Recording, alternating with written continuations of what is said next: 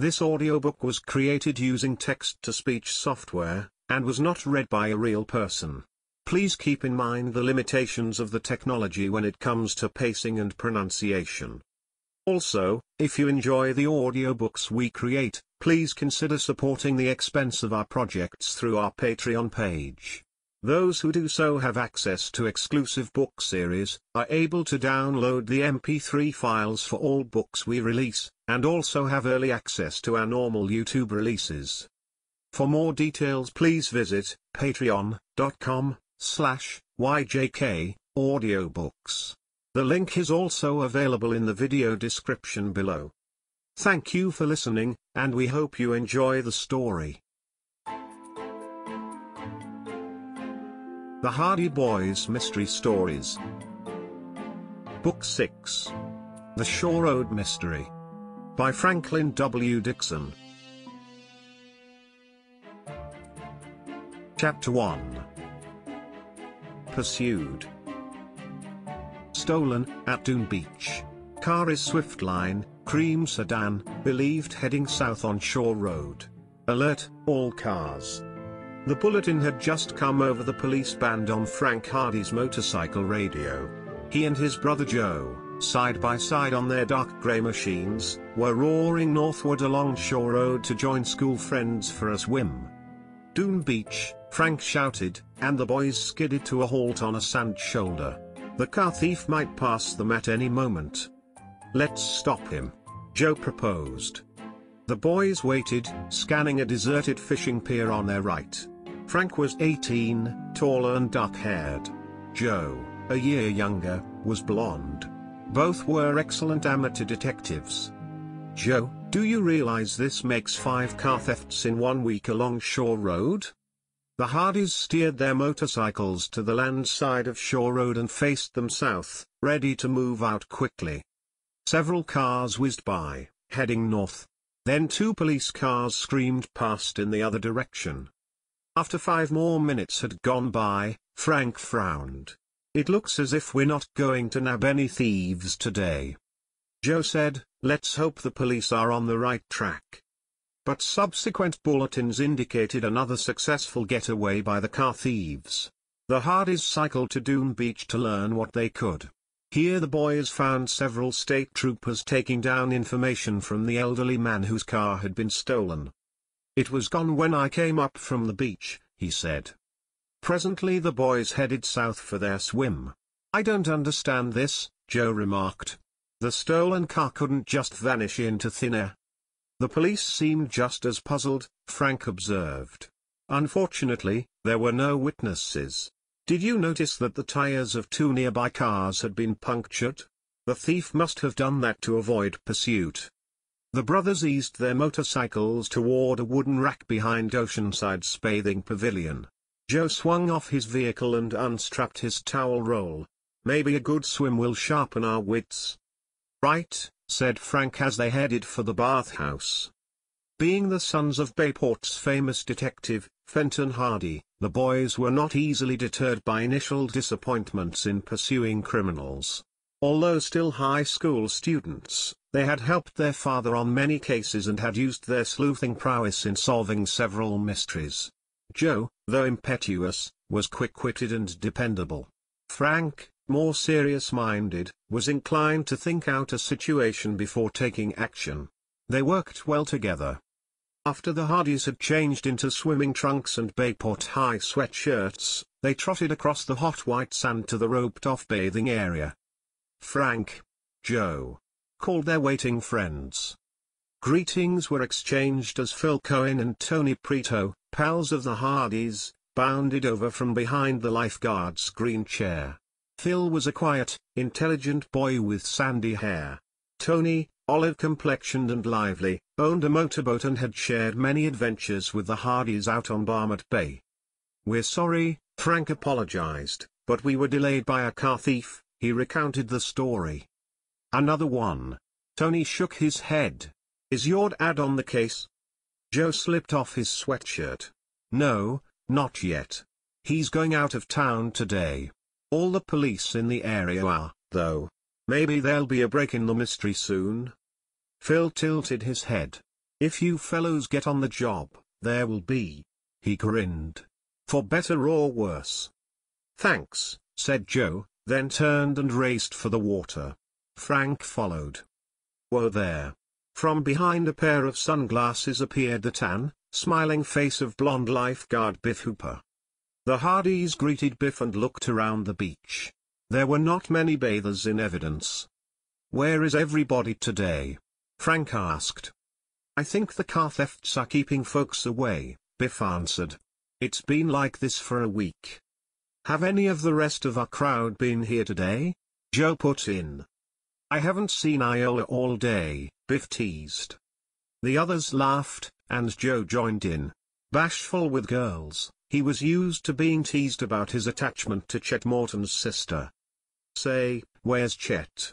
Frank asked. Chet? I haven't seen him here this week, Biff replied. But I did hear he's been spending some time at the Bayport Museum. It must be connected with food. Tony grinned. Their stout friend loved to eat. Frank and Joe went swimming.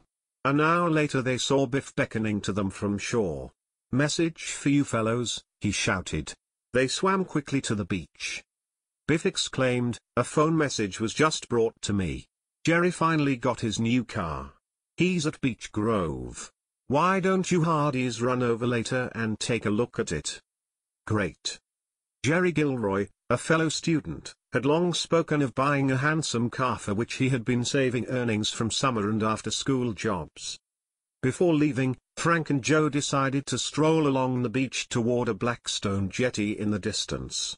Suddenly they came upon a dead bat in the sand. Funny, said Joe. Wonder how that got here. The boys walked onto the end of the jetty and scanned the horizon. Beyond the bathing area, a black fishing boat cruised by slowly. Moments later, the Hardys recognized a smaller green and white boat which belonged to their friend Jack Dodd. They waved to him. Jack seemed about to wave back when they saw him lurch forward sharply and drop below in his boat. Then he stood up and signaled frantically. Something's wrong, Joe gasped. Look. The bow is beginning to list. The Hardys dived off the jetty and swam swiftly out to meet the craft as Jack headed it toward the rock promontory. In moments they had climbed into the boat. Frank. Joe. Quick. In there. Jack pointed to the small forward compartment as he maneuvered the boat closer to the jetty. Below, the Hardys found themselves standing in an inch of churning water. Near the left bulkhead, Jack called down, cutting the motor. Frank had already spotted a small, bubbling fountain covered it with his foot. Joe ripped a towel off a hook and together they stanched the leak until some wood sealer was found in the paint locker. By the time Joe and Jack were mooring the boat to the jetty, Frank had tightly plugged the leak. I guess I owe you fellows my boat. Jack smiled gratefully as the three bailed most of the water out of the compartment. Jack Dodd was a likable, dark-haired youth. He and his father, a widower and respected Bayport citizen, worked a farm on Shore Road. The exercise did us good, and in, Joe laughed and jumped onto the jetty. How did it happen Jack? Did you strike a rock? Jack shook his head worriedly. Some other object struck my boat underneath. Frank's face showed astonishment. Something's wrong, Joe gasped. It sure seemed that way. I was moving along great until I heard a scraping noise and then the gush of water. I've never hit any rocks around here before. But who would deliberately? Joe was puzzled. You've got me.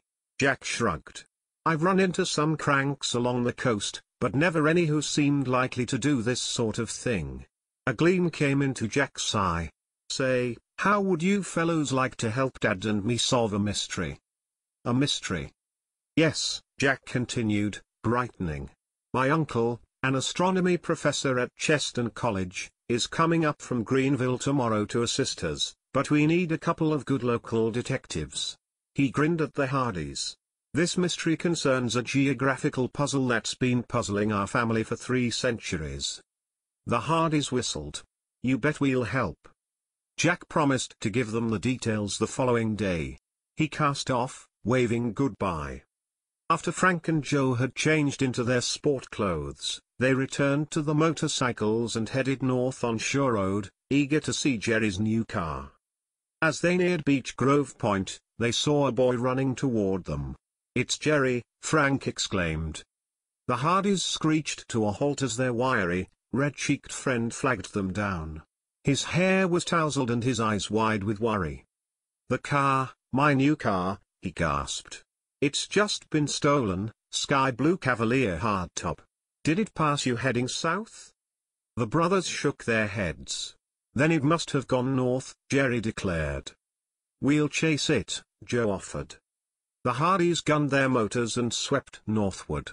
Crouching low, they whipped up an incline beneath a rock overhang.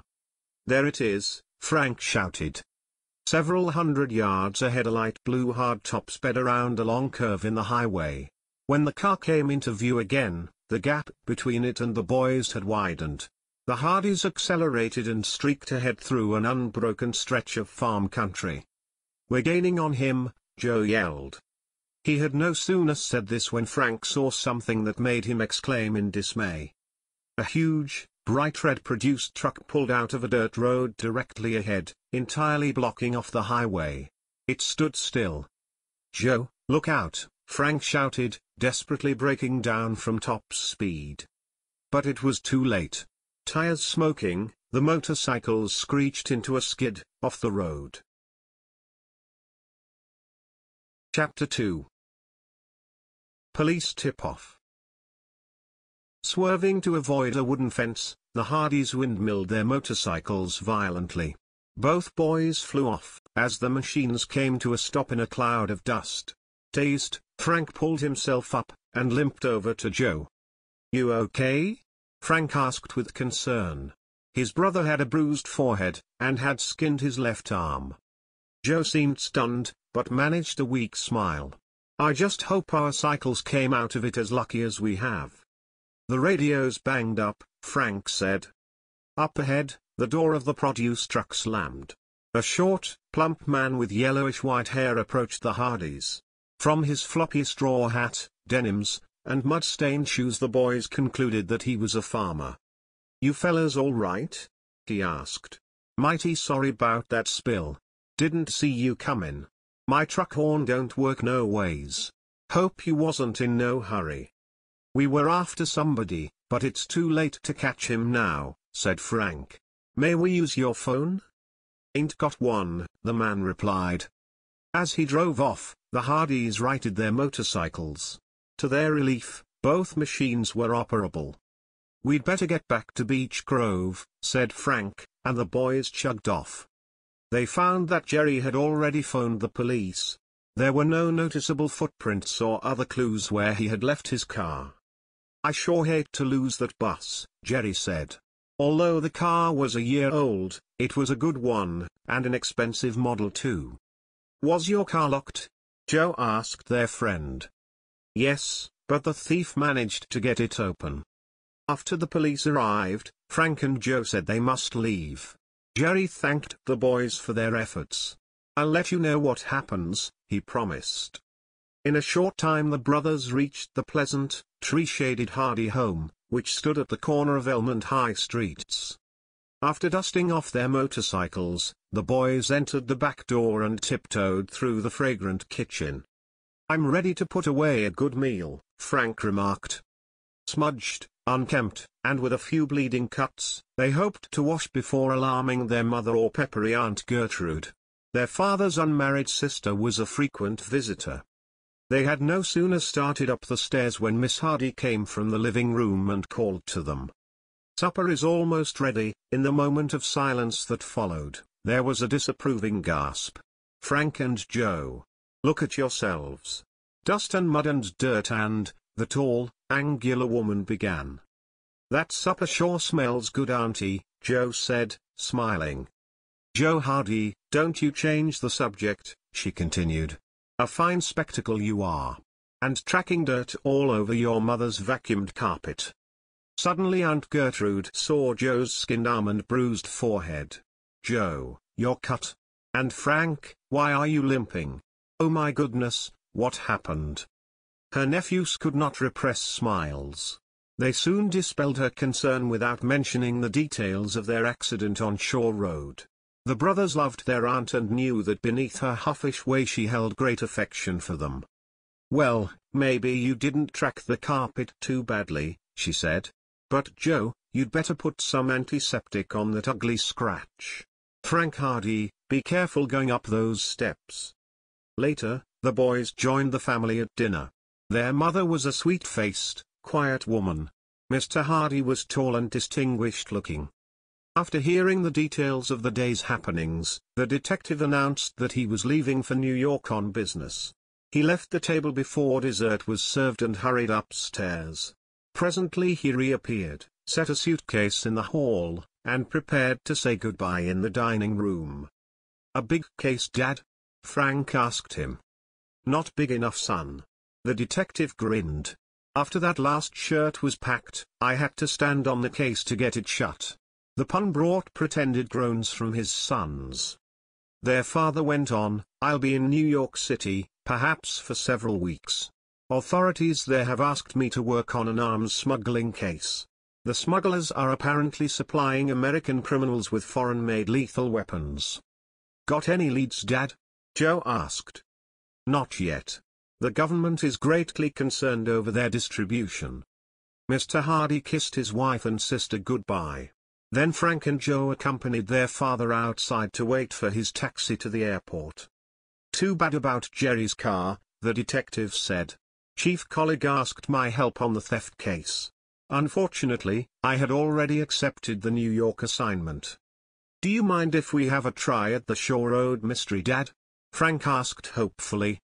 It sounds like quite a challenge, even for my sons. He smiled. But I think the police could use any help available. Take care of yourselves and keep in touch. By the way, put my car in the garage before you go to bed. It's in the driveway. Sure thing dad, said Frank. Back at the table, the brothers discussed the day's events with the women. I wonder why Jerry's stolen car was headed north, said Frank. The other Shore Road thieves always turned south. Just then they heard a familiar voice from the kitchen door. Hi Chet. Long time no see. Called Frank. Stout, good-natured Chet Morton appeared, eating a piece of celery he had picked up from the kitchen table. Chet's visits to the Hardy household at mealtimes were not a rarity. He greeted Mrs. Hardy and Aunt Gertrude, then said, Hi fellows. Chet dropped into Mr. Hardy's vacant chair. Sorry I couldn't meet you fellows at the beach today, but I've been kind of busy with my work. Your work? Joe repeated. Work was not one of Chet's strong assets. He reached for an olive as Mrs. Hardy said, How about some dinner? I'll get you a plate. Not tonight, thanks Mrs. Hardy. Aunt Gertrude raised her eyebrows. Seldom did the stout boy turn down an offer of food. Frank and Joe hid smiles behind their napkins. Finally Frank urged, Come on Chet, something's in the air. It's not like you two. Joe was not paying attention. He interrupted to say, Listen. I just heard a noise from the driveway. It sounded like a door of Dad's car being shut. The three boys rushed out to the back porch. Look, cried Joe. A hulking figure was getting into Mr. Hardy's sedan. Another man was already in the car. Stop! Frank ordered. Tearing down the steps, the boys ran across the lawn. The men jumped out and dashed down the driveway to the street. In an instant they were picked up by a waiting car, which roared away. The boys gave chase but to no avail. Identification was impossible because the driver had put out the lights and the license number could not be seen. Pretty daring thieves. Chet commented. The boys hurried back to Mr. Hardy's automobile. Finding no damage, Frank drove it into the garage and locked the door. Those guys sure had a nerve trying to steal a detective's car, Chet remarked as they re-entered the house. Any special reason, do you suppose? They probably didn't know Dad's away, said Frank, and thought this would handicap him if he should be working on the car thefts. This may have been our first look at some of the Shore Road gang, Frank concluded. After reporting the attempted theft to the police, the boys went to the living room, where Chet proceeded to explain his latest project. I'm studying dietary survival. He took a book from a pocket and tapped the cover. Chet brought a carrot from another pocket and bit loudly into it before tossing the book to Joe. Its title was Vegetable Survival in the Wilderness. Sounds interesting Chet, he said. But what brought this on? You've always been the biggest eater in Bayport High. Common sense, Chet intoned. You see, we live in a dangerous world, never knowing where our next meal may come from. So, I figure to learn a little botany in case I'm ever marooned on a jungle island or too far from a hot dog stand. In other words, herbivorous survival. Herb, Frank stared.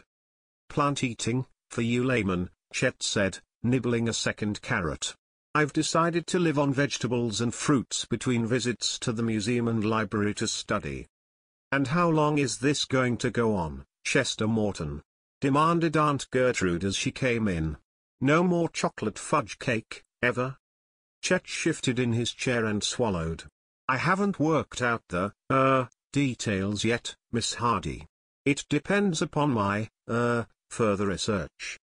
Frank grinned as his aunt shook her head in puzzlement and left the room. Well, we sure wish you luck Chet, he said. Sounds pretty austere to me. I'll make it, Chet declared. Tell me about your swim.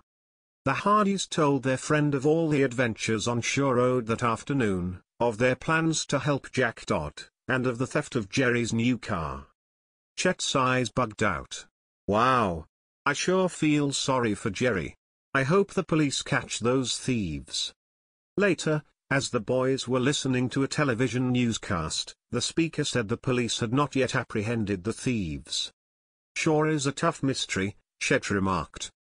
Frank suggested they all look at a map of the Shore Road area. Maybe we can figure where the cars disappear to. Just then the telephone rang. Joe took the call, then rushed back to the others. That was Jack, he exclaimed.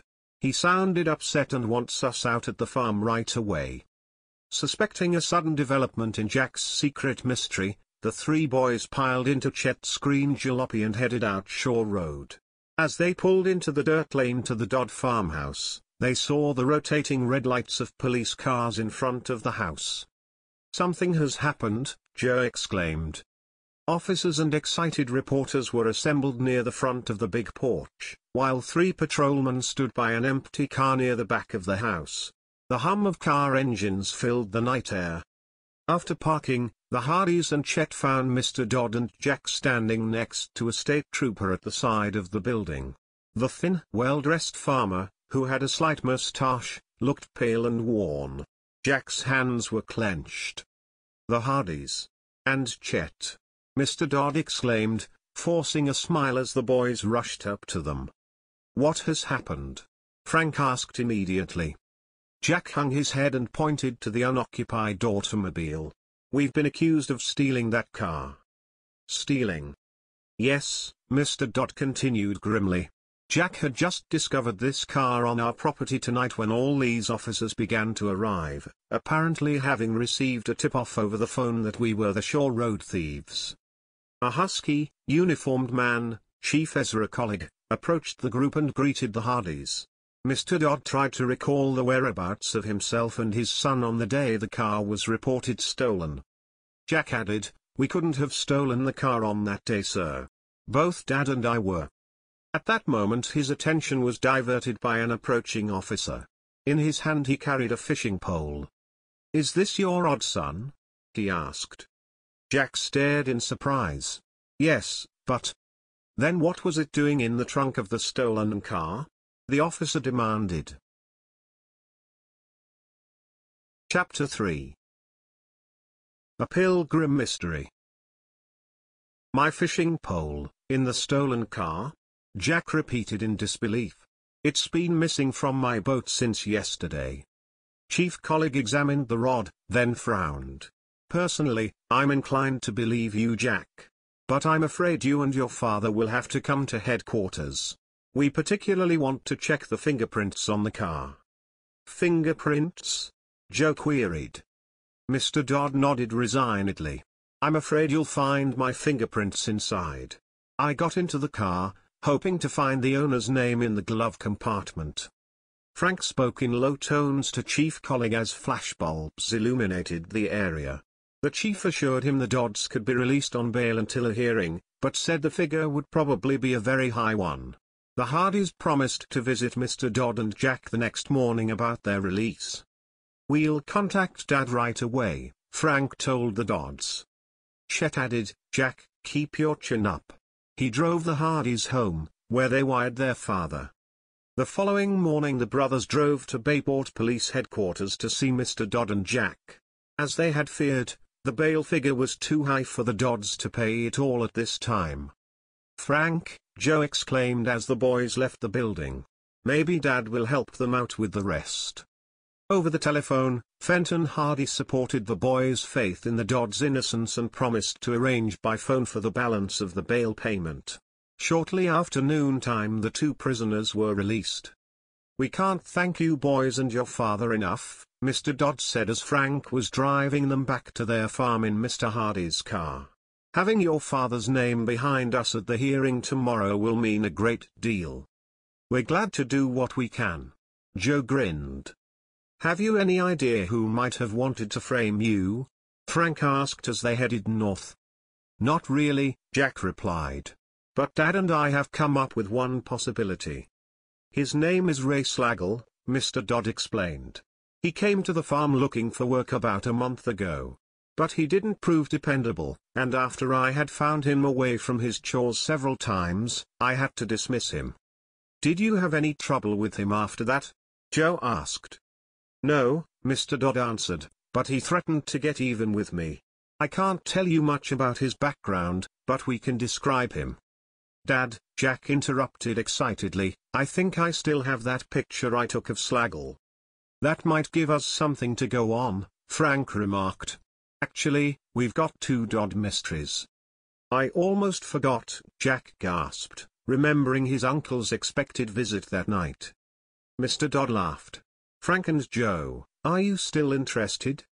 Interested. The Hardys cried in unison. We sure are. Frank turned the sedan off Shore Road onto the lane leading to the Dodd house.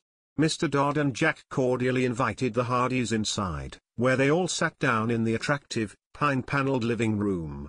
Over a large flagstone fireplace hung a framed black and white map of the Atlantic coast. There were several early colonial prints above the bookcases and sofa. We're ready for the story, said Frank. As you may know, Mr. Dodd began, the Dodd family, while small today, goes back several hundred years in this country. He pointed to some faded, brown leather volumes along a mahogany shelf. There are records in these of centuries of Dodds, records that go back before the Revolutionary War. Unfortunately, they tell us little about the man at the root of the Pilgrim mystery. Frank and Joe leaned forward. We do know, the farmer continued, that in the year 1647, one Elias Dodd embarked from Plymouth Colony in a small skiff with his wife and three children. A good seaman, with considerable knowledge of astronomy, he went in search of a horseshoe-shaped inlet he had heard of from an Indian. Dodd hoped to establish a settlement to which other families might come later. A horseshoe-shaped inlet, Joe exclaimed. Mr. Dodd smiled. The inlet that is today Barmet Bay. Did he reach it? Frank asked. Mr. Dodd stood up and paced the room. That is the mystery we hope to solve. You see, Elias Dodd was never heard from again. But many years later, a bottle was found washed up on a shore farther south of here. In it was a note believed to have been written by Elias before he and his family perished in a sudden, violent storm. Deterioration of the paper had obliterated some of the words. In the message, Elias hastily described their last geographical position. And you have the message here? Frank asked. Only in our heads. Jack smiled. Mr. Dodd explained. My brother Martin, who teaches astronomy at Cheston College in Greenville, has the original. You'll be able to see it when you meet him this evening. And you're hoping, Joe said, to discover whether your ancestor perished in the Bayport area? That's right, as well as to determine the existence of the pilgrim treasure. Treasure. Frank and Joe echoed. Jack's father went on, when Elias left the colony for his journey, he brought with him a chest of jewels, many of which were very valuable. He hoped to use the less expensive ones to barter with the Indians he might encounter. Because of the treasure, I assume the mystery must remain in confidence, Frank said. Mr. Dodd nodded. Dishonest people mustn't hear about it, Jack said. They might find the chest before we do. And there is the possibility it contains his journals which would also be valuable. Frank and Joe stood up as Mr. Dodd glanced at his watch. Though eager to hear details of the pilgrim clue, they realized that Jack and his father needed a chance to obtain legal advice for their hearing the next morning on the stolen car. Frank shook hands with the Dodds at the front door. We look forward to meeting Martin Dodd, and seeing the old paper, tonight. Jack smiled, fingering a rabbit's foot keychain, but his face seemed to cloud with the anxieties of last night's events. Thanks again fellows, he said. Without you, we wouldn't even be free to work on the mystery. As it is, Mr. Dodd added, we must solve it within the next few days. His mention of a deadline puzzled the Hardys. He promised to explain later that night. Jack gave the boys a photograph of Ray Slagle. The picture revealed a burly, bald man leaning on a pitchfork before the Dodd barn. He wore a work glove with a V-shaped cuff on his left hand. The Hardys then drove out to Beech Grove where they locked the car and began combing the sand for clues to the thief of Jerry's stolen car.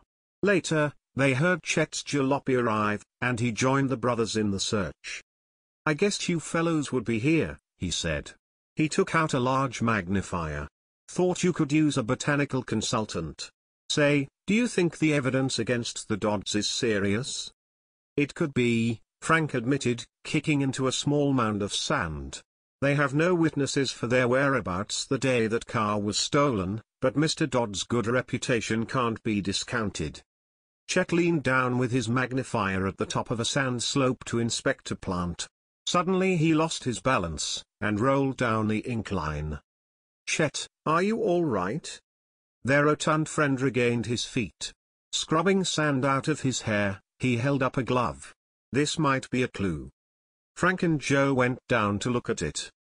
It's a work glove, Chet said, pointing to the V-shaped cuff. At that moment the boys saw a car slow down on the road above them. They raced up the slope, but when they reached the highway, the car was already disappearing around the bend.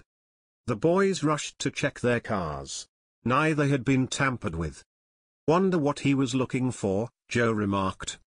Maybe the same thing that Chet found, Frank said. Joe, have you that picture of Slagle? Joe produced the photograph. Frank compared the left-handed glove Chet held and the one in the picture. The two looked identical. This may be the lead we're looking for. Frank rejoiced as they walked to their cars.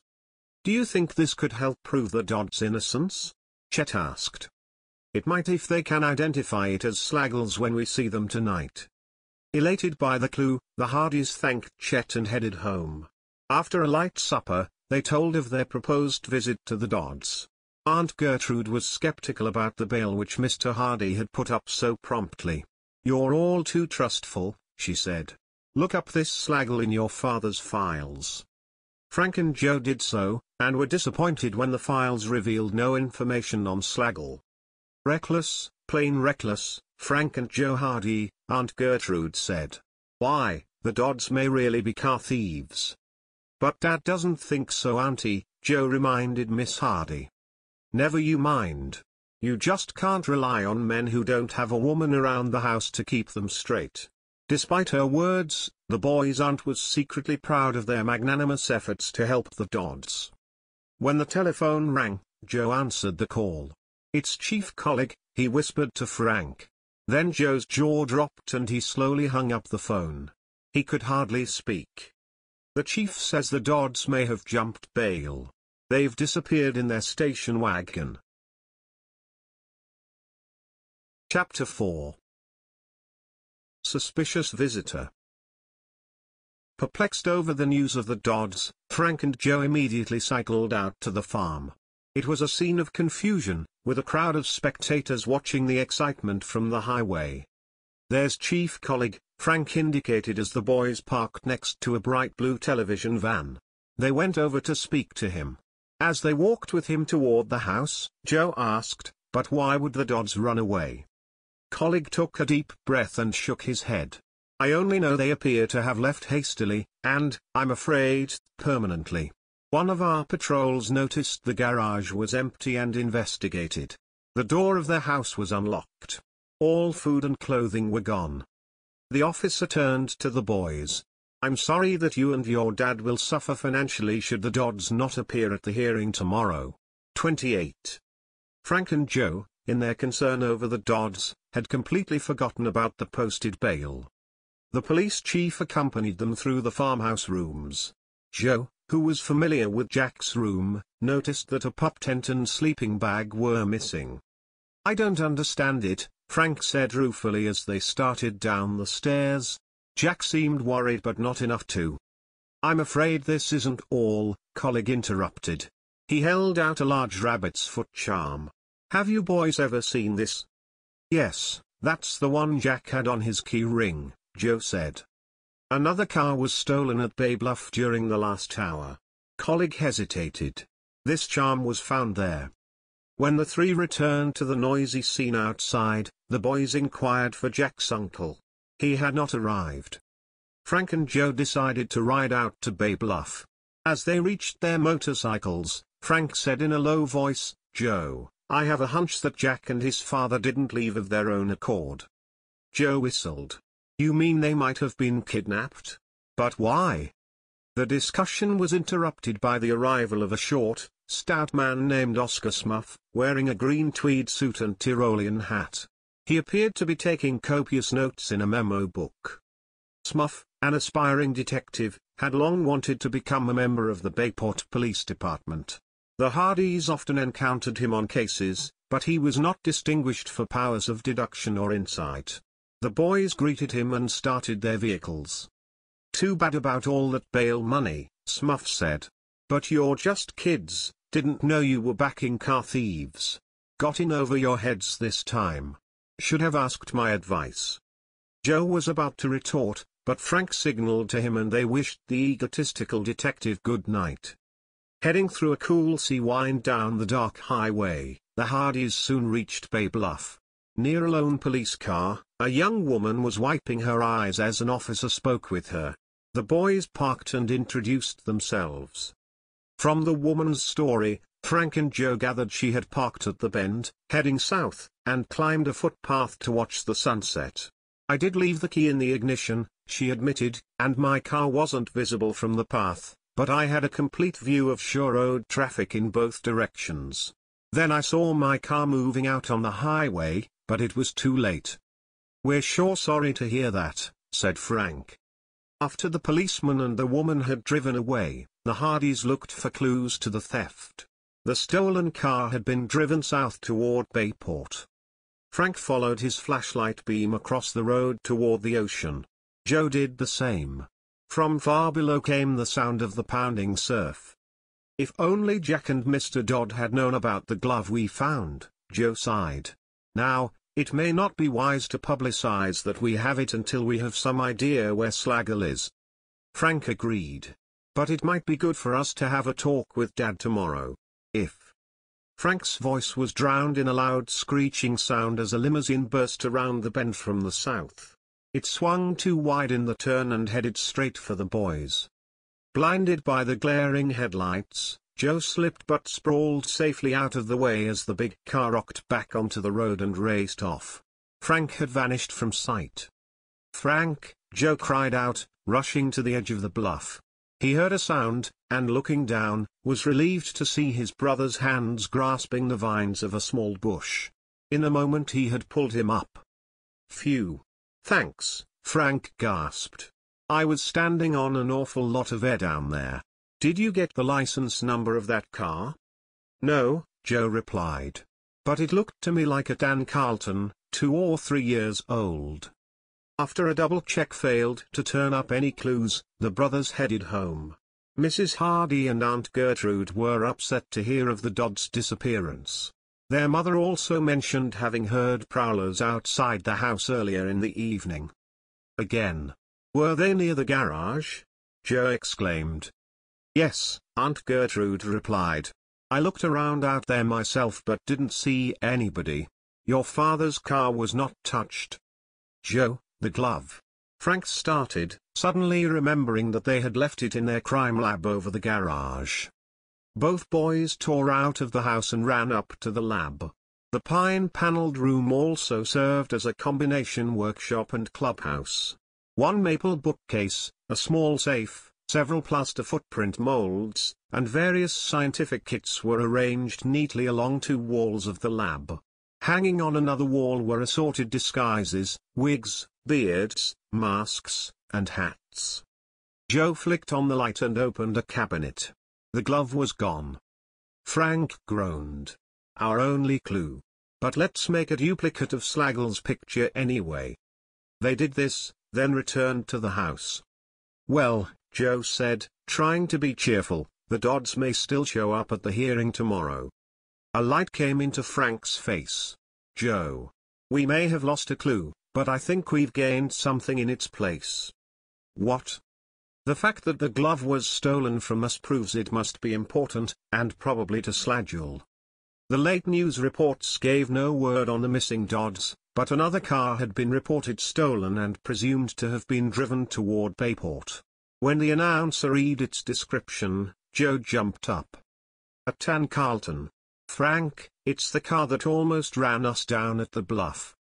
But the driver was heading north. Still, Frank snapped his fingers. I've got it. Tire marks prove the thieves always head south. But what's to stop them from turning around a minute later and heading north? A simple U-turn, Joe agreed. The following morning, just before the scheduled hearing of the Dodd case, Frank called Chief Collig and learned that the Dodds had failed to appear. Nothing had been heard from Martin Dodd, either. Do you suppose he was kidnapped too? Joe asked Frank. His brother shrugged. If so, it may involve the Pilgrim mystery. Let's go out to Cheston College and make some inquiries. Before they left, a phone call came from their father. After briefing him on the latest developments, Joe asked, Dad, how's your case coming? I'm not at liberty to say much, but I wouldn't be surprised if I suddenly took up the study of gases as a hobby. I wish I were free, though, to give you boys a hand. Late that morning Frank and Joe traveled by train to Greenville, then walked to the peaceful, shaded campus of Cheston College. At the office they learned that Martin Dodd, a bachelor, had left as expected the day before for Bayport. The boys obtained two photographs of the astronomy professor. Both showed him to be tall and middle-aged, with a grey moustache and horn-rimmed glasses.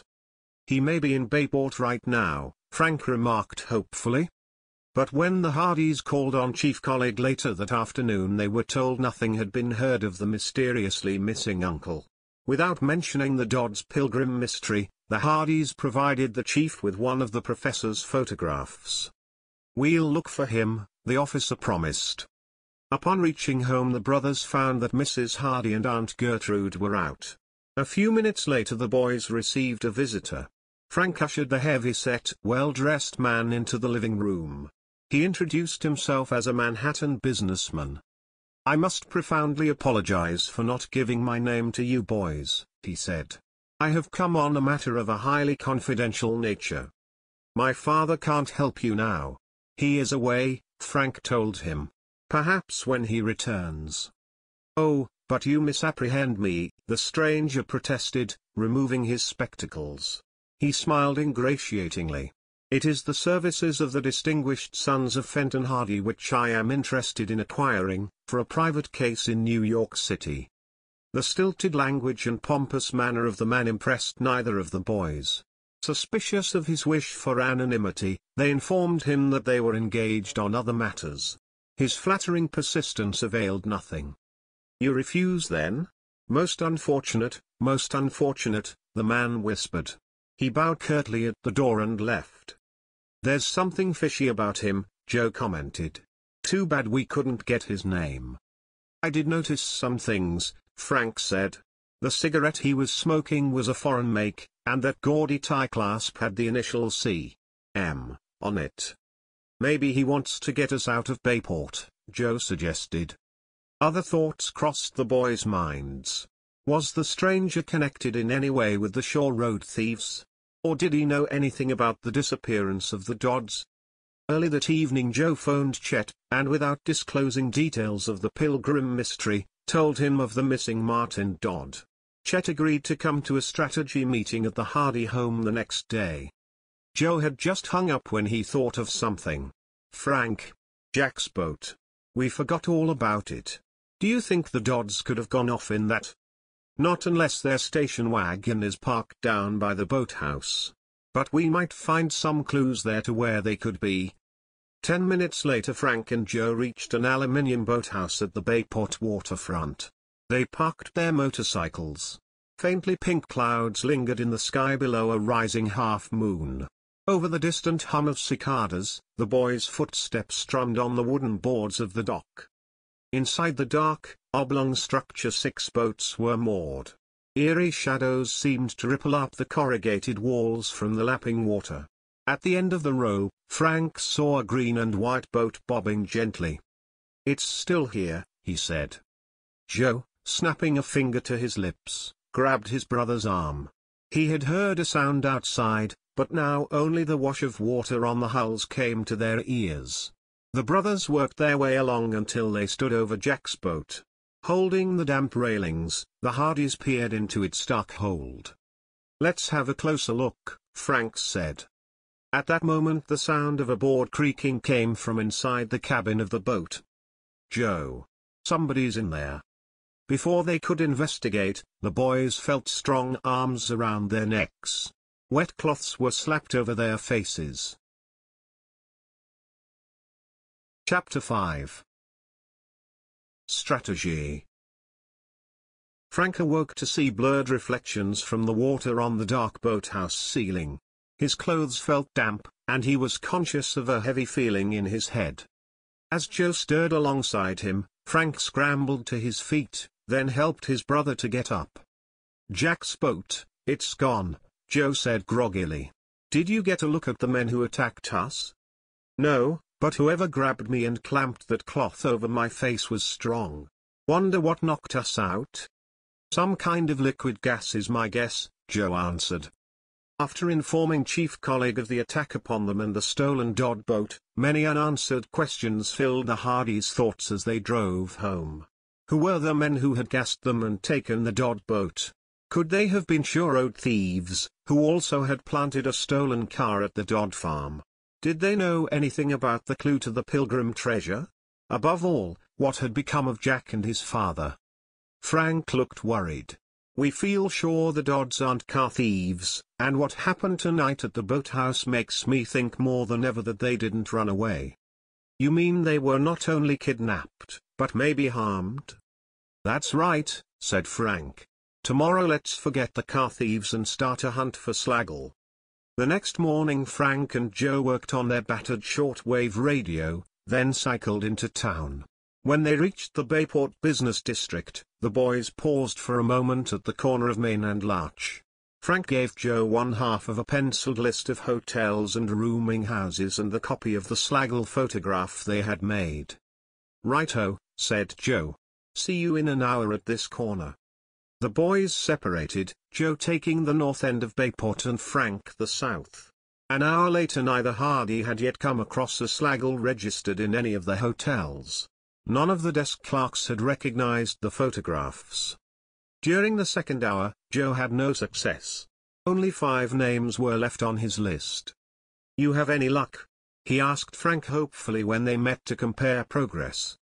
Frank wiped his brow. Not a thing. I covered all the waterfront places and saw the registers myself. How about you? No. Frank read down his list. Well, this last run ought to do it. Fingers crossed. But the boys' final circuit turned up no leads. Disappointed, the brothers headed through the center of town for home. Slagle may still be in the area, but staying in another town, Frank remarked. At any rate, Joe declared, I guess we'll have some more footwork cut out for us. At the Dock Street traffic light Joe noticed a heavy-set, well-dressed man getting into a taxicab. Frank. That's our nameless visitor from New York. The brown and white cab pulled out and headed toward the western side of town. The boys decided to follow on their motorcycles. Moments later, the taxi wound under an overpass and came to a stop at the Bayport Railroad Station. Parking nearby, the Hardys followed as the man purchased a ticket in the waiting room, then boarded a waiting New York train. Joe heaved a sigh. Well, we can cancel one lead, at least for the time being. Maybe he was telling the truth about living in New York City. Frank and Joe found Chet at their house. Presently the three boys went to the brothers' crime lab. Chet proudly dropped a large cylinder of paper on the table. I thought we could use this to find the car thieves. What is it? Joe asked. Chet rolled out a highly detailed map of Bayport and its environs. It's on loan from my father's real estate office. The Hardys marveled at the map's detail, which included geographical features as well as houses and roads in the entire Shore Road area. This is a great help Chet, said Frank. After switching on an overhead fluorescent light and locking the door and windows for security, he rejoined the boys over the map spread out on the table. The three pored over the paper for the next half hour. Except for the sounds of Chet chewing gum, the room was silent. Two considerations were paramount, where were the Dodds, and where were the stolen cars being taken? At last Frank sat back. I have a hunch that working on the thefts is the only way we'll ever find Jack and his father. With the Dodds missing, suspicion of future thefts would naturally fall on them. Do you think their lives are in danger? Chet asked. I'm afraid so, Frank replied. They may be prisoners within a few miles of where we are this minute. The gang may be making a quick haul of flashy cars, and storing them at a hideout until they can be safely moved. But as long as the thefts continue, I think the Dodds will be kept prisoners. Since Chet was to be a part of their sleuthing team, Frank and Joe now told him about the Pilgrim mystery. Joe paused at the window. I feel that the treasure also would fit right into the disappearance of Jack and his father and even the uncle, he commented. If only we had a copy of Elias Dodd's last message. Do you think Slagle or the car thieves found out about the treasure and kidnapped Jack and his father to keep them from looking for it? It's possible, Frank answered. Moments later, Mrs. Hardy interrupted briefly to give the boys four letters which had come for them in a late delivery. As Frank and Joe read them, Chet noted their grim expressions. Who sent the letters? he asked. Their complaints, Frank replied. Some townspeople aren't happy about our backing the Dodds. Joe slapped the letter he was reading. This one is from a theft victim. He even says he'll hold us responsible if the Dodds aren't apprehended. People are really getting up in arms about these thefts, Frank said. We must work harder to track down the thieves.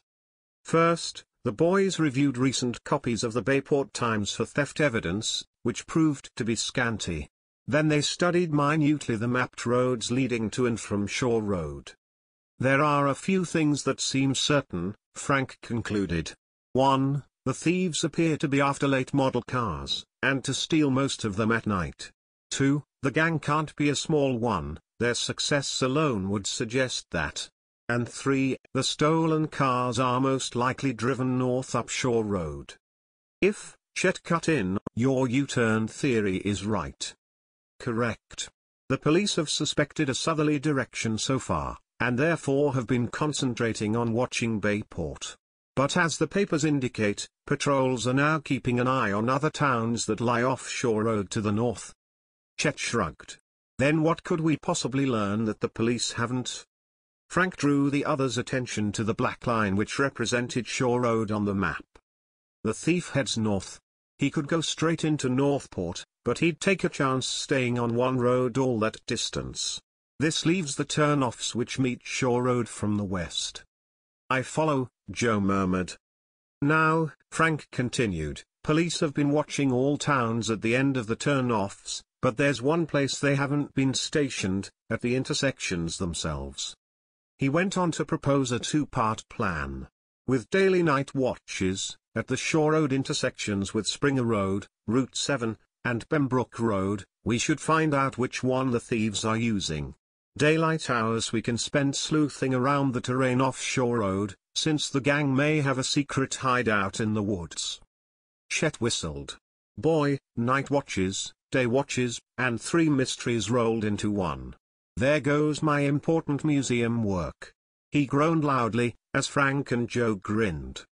But Chet, this will give you a chance to do some real field work for your botanical and dietary investigations, Joe explained, slapping his heavy friend on the back. Think of all the herbs and plants in those woods. Chet was weighing the idea when they heard familiar footsteps ascending the garage stairs and a sharp rap on the door. I've brought you boys some refreshments, came the voice of Gertrude Hardy. Refreshments. Chet echoed happily, opening the door. The laden tray Aunt Gertrude carried looked inviting. Noticing the closed windows she winced. A beautiful day like this and you three sitting in a hot, stuffy room. Frank, Joe, here are some apple pie and chocolate milk. A heavy object sailed through the window. Oh boy, Chet exclaimed. And for you, Chet Morton, a large glass of cooling parsnip juice. I fixed it especially for your vegetarian diet. My vegetarian, Chet's voice trailed off despondently at the sight of the liquid.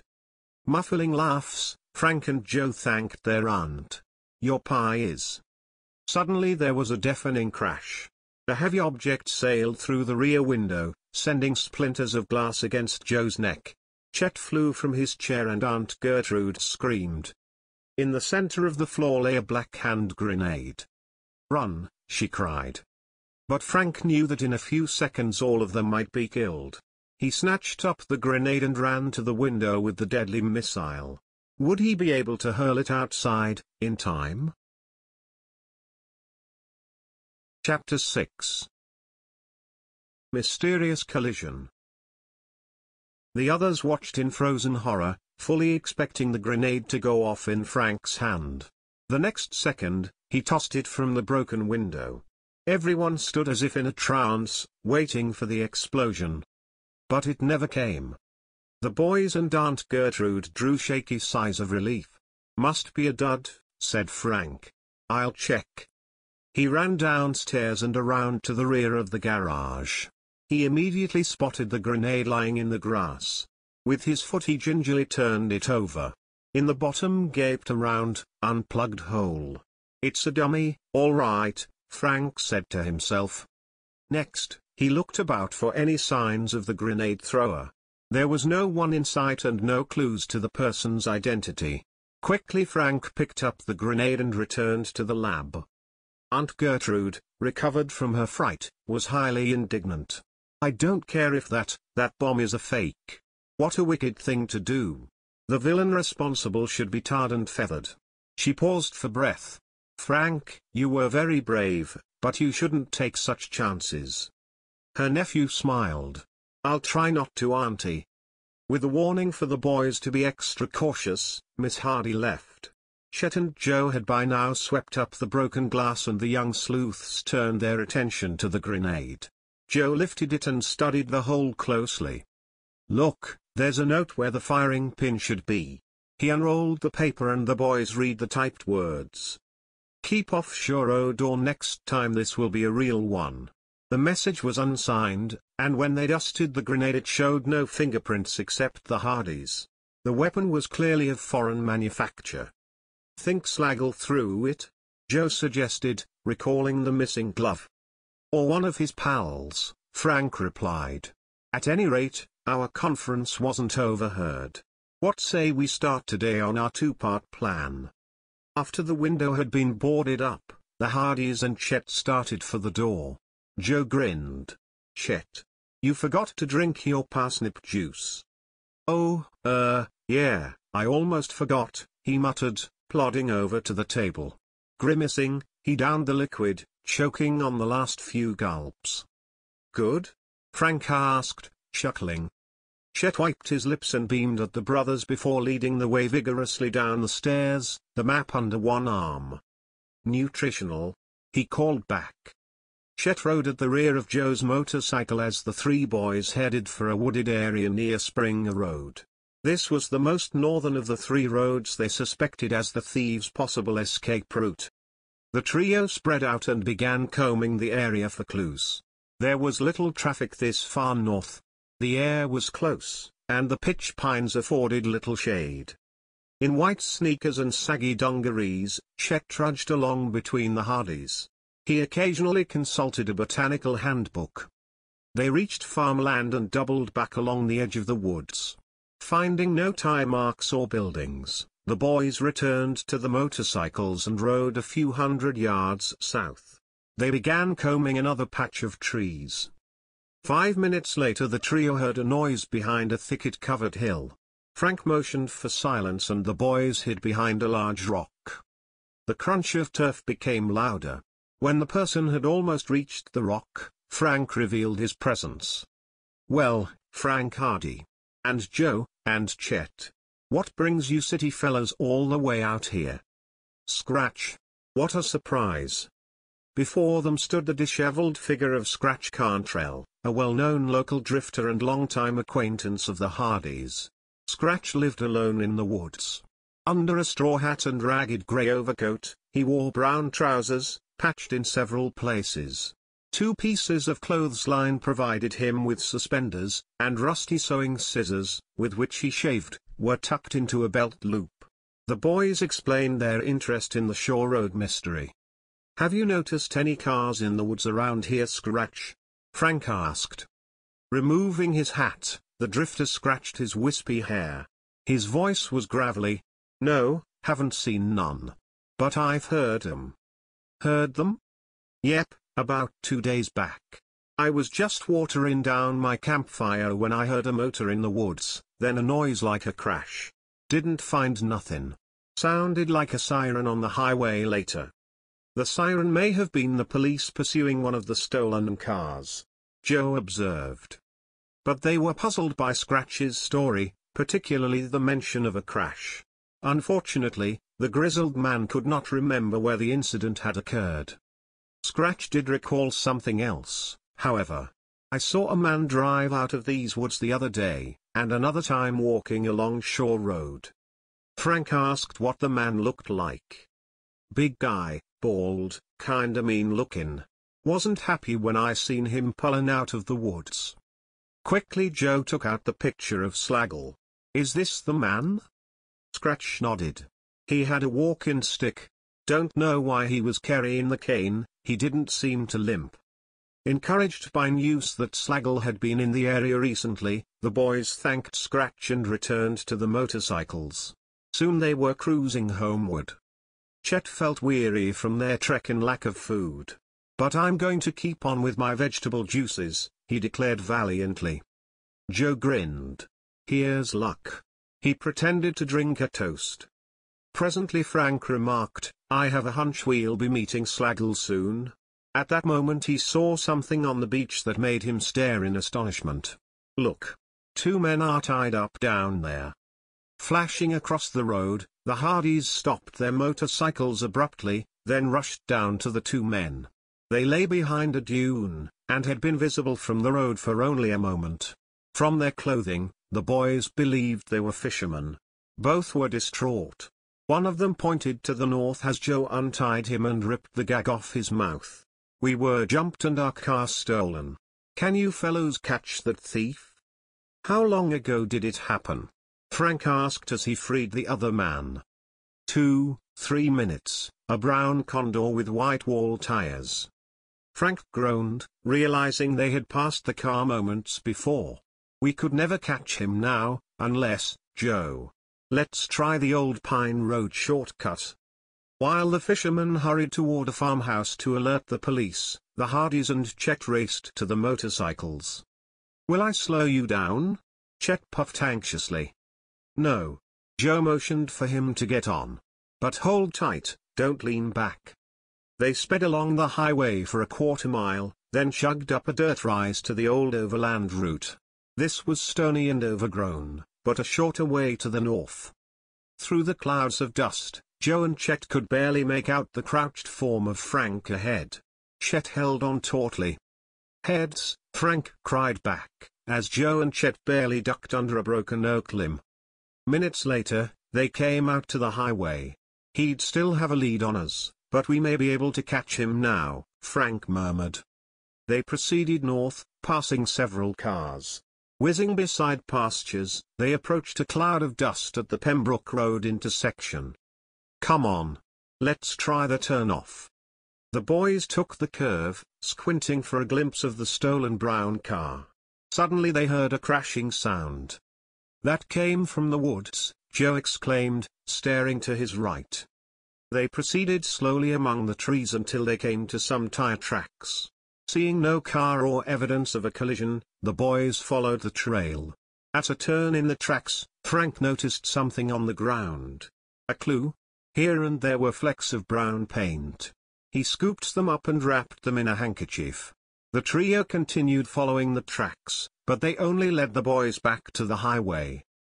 Beats me, Frank said. Whoever drove in seems to have driven right out again. But why? On the way back, they dropped off the paint flecks at the police station for analysis. At the Hardy garage Chet pulled an old mass of broken leaves and stems from his dusty pocket. My plant specimens. He groaned. Ah, what scientists must suffer, and all for nothing. Fellows, could we postpone our first night watch until tomorrow? I'm tired, and hungry. The Hardys agreed, feeling sorry for their chum. After Chet left, the brothers had supper and opened a special delivery packet which had arrived that afternoon from their father. To their surprise, it contained Dayton on Slagle. Dad is sure a wonder, Joe declared. Information on the man's recent moves was scant, but the report said that Slagle had been dishonorably discharged from the army and had served a prison term in Leavenworth. A list of several aliases was given, as well as an indication he had been born left-handed but now used either hand. Later, while the boys were studying a small map, the doorbell rang. Mrs. Hardy answered it. When she came back into the living room, their mother seemed perplexed. That's strange. A man was at the door. He wore a blue winter face muffler and didn't identify himself. When I told him that your father wasn't at home, he seemed hesitant. Finally, before leaving, he asked me to give this to you boys. She handed Frank a small, white envelope. On the front of it, was the drawing of a bottle. Chapter 7 Flight Sniper Impatiently, Frank tore open the envelope and removed a folded message. It was a photostat of an aged, incomplete message. He read it aloud. When the storm broke. Alone. To give our position in the hope that. Frank glanced at Joe. The Dodds Pilgrim clue. Each small s looks like an F, the way in was written centuries ago. He continued. Vegetation no protection. Shelter. But crash of countless. Breaking black willows. High vein of gold. In the margin was a crude drawing of a leaf. Frank passed the paper to his brother. That's all. Looks as if part of it has been cut off at the end. The brothers spent the rest of the evening trying vainly to interpret the message and speculating on the identity of the visitor. As I make it out, Frank remarked, the storm in this message is the hurricane in which Elias Dodd perished with his family. And the question is, where? Apparently they found some cover, for it mentions vegetation. If only we knew what kind. The leaf drawing must be a clue. Joe tapped his head with a pencil. But if Elias Dodd's bottle washed up on the shore, wouldn't the family have been out at sea? His brother had second thoughts. There's something about the words vegetation and shelter that suggests a location on land. Besides, wouldn't Elias Dodd have needed some kind of shelter in which to write the note? That figures, Joe replied. What do you make of the last part? Frank reread the final fragments. Crash of countless breaking bacillos. High vein of gold. I don't get it, Joe muttered. Were there ever veins of gold in this area? Frank offered to find out. He went into the hall, where Joe heard him talking on the phone with Chet. Presently Frank returned, excited. Joe. I think I may have it. What? The answer to at least most of the message. Frank explained, it figures that this fifth word from the end could be willows, referring, in other words, to black willow trees. A hurricane would certainly cause many branches to break and even whole trees to crash. Sure, Joe said, puzzled. But if there were countless black willows, they would be in an inland forest. I still don't see how any bottle could reach the sea from there. Frank grinned. I had a hunch and asked Chet to check it. Have you ever noticed where most black willows seem to grow? Joe recalled some of their past camping trips. Near rivers or other bodies of water. Shadow Lake, and of course Willow River. Suddenly Joe caught the drift of Frank's reasoning. Willow River, of course. That would account for Elias Dodd's message reaching the sea. Frank said thoughtfully, and gold is often found in stream beds. Neither of the brothers recognized the crude drawing of the leaf. Chet may be able to identify it, Frank said. Joe suggested that they check in town about past gold mines or claims to any in Bayport history. Good idea, Frank agreed. Now for the big question, is this message a copy of the real one? Any ideas about who brought it? Joe asked. One, Frank answered. Professor Martin Dodd, though I don't understand why he wouldn't identify himself. Joe remembered their last meeting with Jack and his father. Mr. Dodd did suggest there was an urgency about solving the Pilgrim mystery. Let's start treasure sleuthing early tomorrow. Mrs. Hardy brought the morning mail to the breakfast table next day.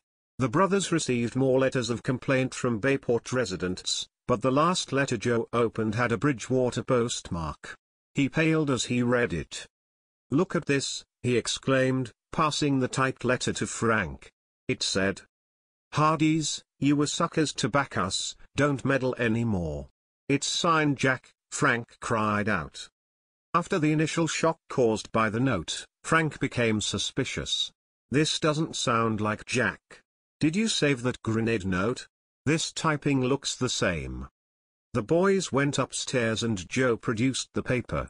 He followed his brother into Mr. Hardy's study, where Frank got out a file on typewriter clues. I'm convinced of it, he said at last. Certain information here points to one interesting fact, both were typed by the same person. Also, the letters typed by the left hand are much darker. Which might mean, Joe broke in, that the person is, or was, left-handed. Slagle. After marking on the map the streams running into Willow River, Frank and Joe picked up Chet at the Bayport Museum. Still tired from yesterday's trek and overland chase, Chet was nevertheless proud about his part in the Black Willow clue. He agreed to be their lookout for a plant like that in the drawing. The boys' plan was to cover certain areas daily in their search for the treasure. Right now they would sleuth in a region north of Route 7, keeping a lookout for willow groves. The only stream in the region, shaded by old black willows, offered no clues to any gold or buried treasure and Chet saw no plants matching the leaf sketch. What's the next assignment? Chet asked.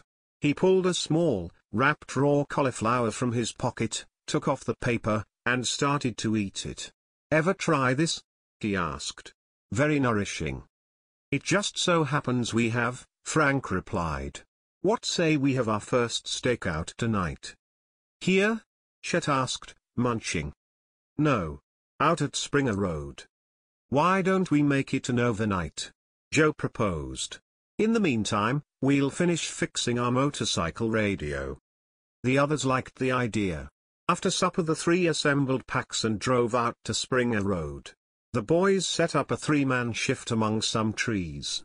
The night passed slowly as the Hardys and Chet each took a turn watching the night traffic for two hours, then sleeping during the next four. No thefts were reported over the radio, and the cars using the turn-off, which they logged by hour and description, were few and not suspect. An hour after sunrise on Saturday morning Frank woke the others and, disappointed, they headed home. You think maybe they've stopped stealing cars? Chet yawned.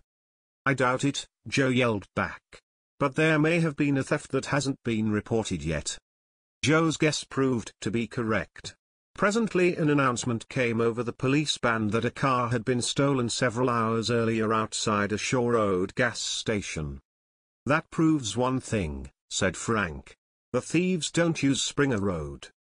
One down, two to go. Joe exulted. Tonight we move to Route 7. Maybe we'll get a nibble on Mr. Slagle or his cronies. Later that morning Joe called the Bayport Records office for information about old gold claims. Any luck?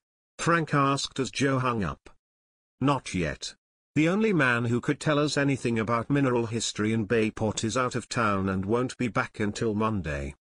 That afternoon the Hardys met Chet to comb another area in their search for the Pilgrim treasure. Chet, in khaki shorts and a pith helmet, looked like an overstuffed safari guide. They hunted through several thickets and a stream bed near a farm owned by John Apperson, but found no trace of gold. We've hardly seen a willow twig all day, Chet moaned disconsolately as they sat on a rock to rest. He picked a burr out of his sneakers. And I haven't spotted any plant with a leaf like in that drawing.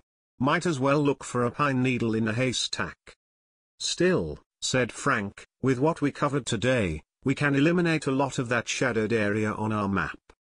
Suddenly Joe had an idea and hopped down. A bird's eye view of this whole region might reveal some small streams not on any of our maps. Think we could get hold of Larry Dillon at the airfield? He's usually free this late in the afternoon, Frank said.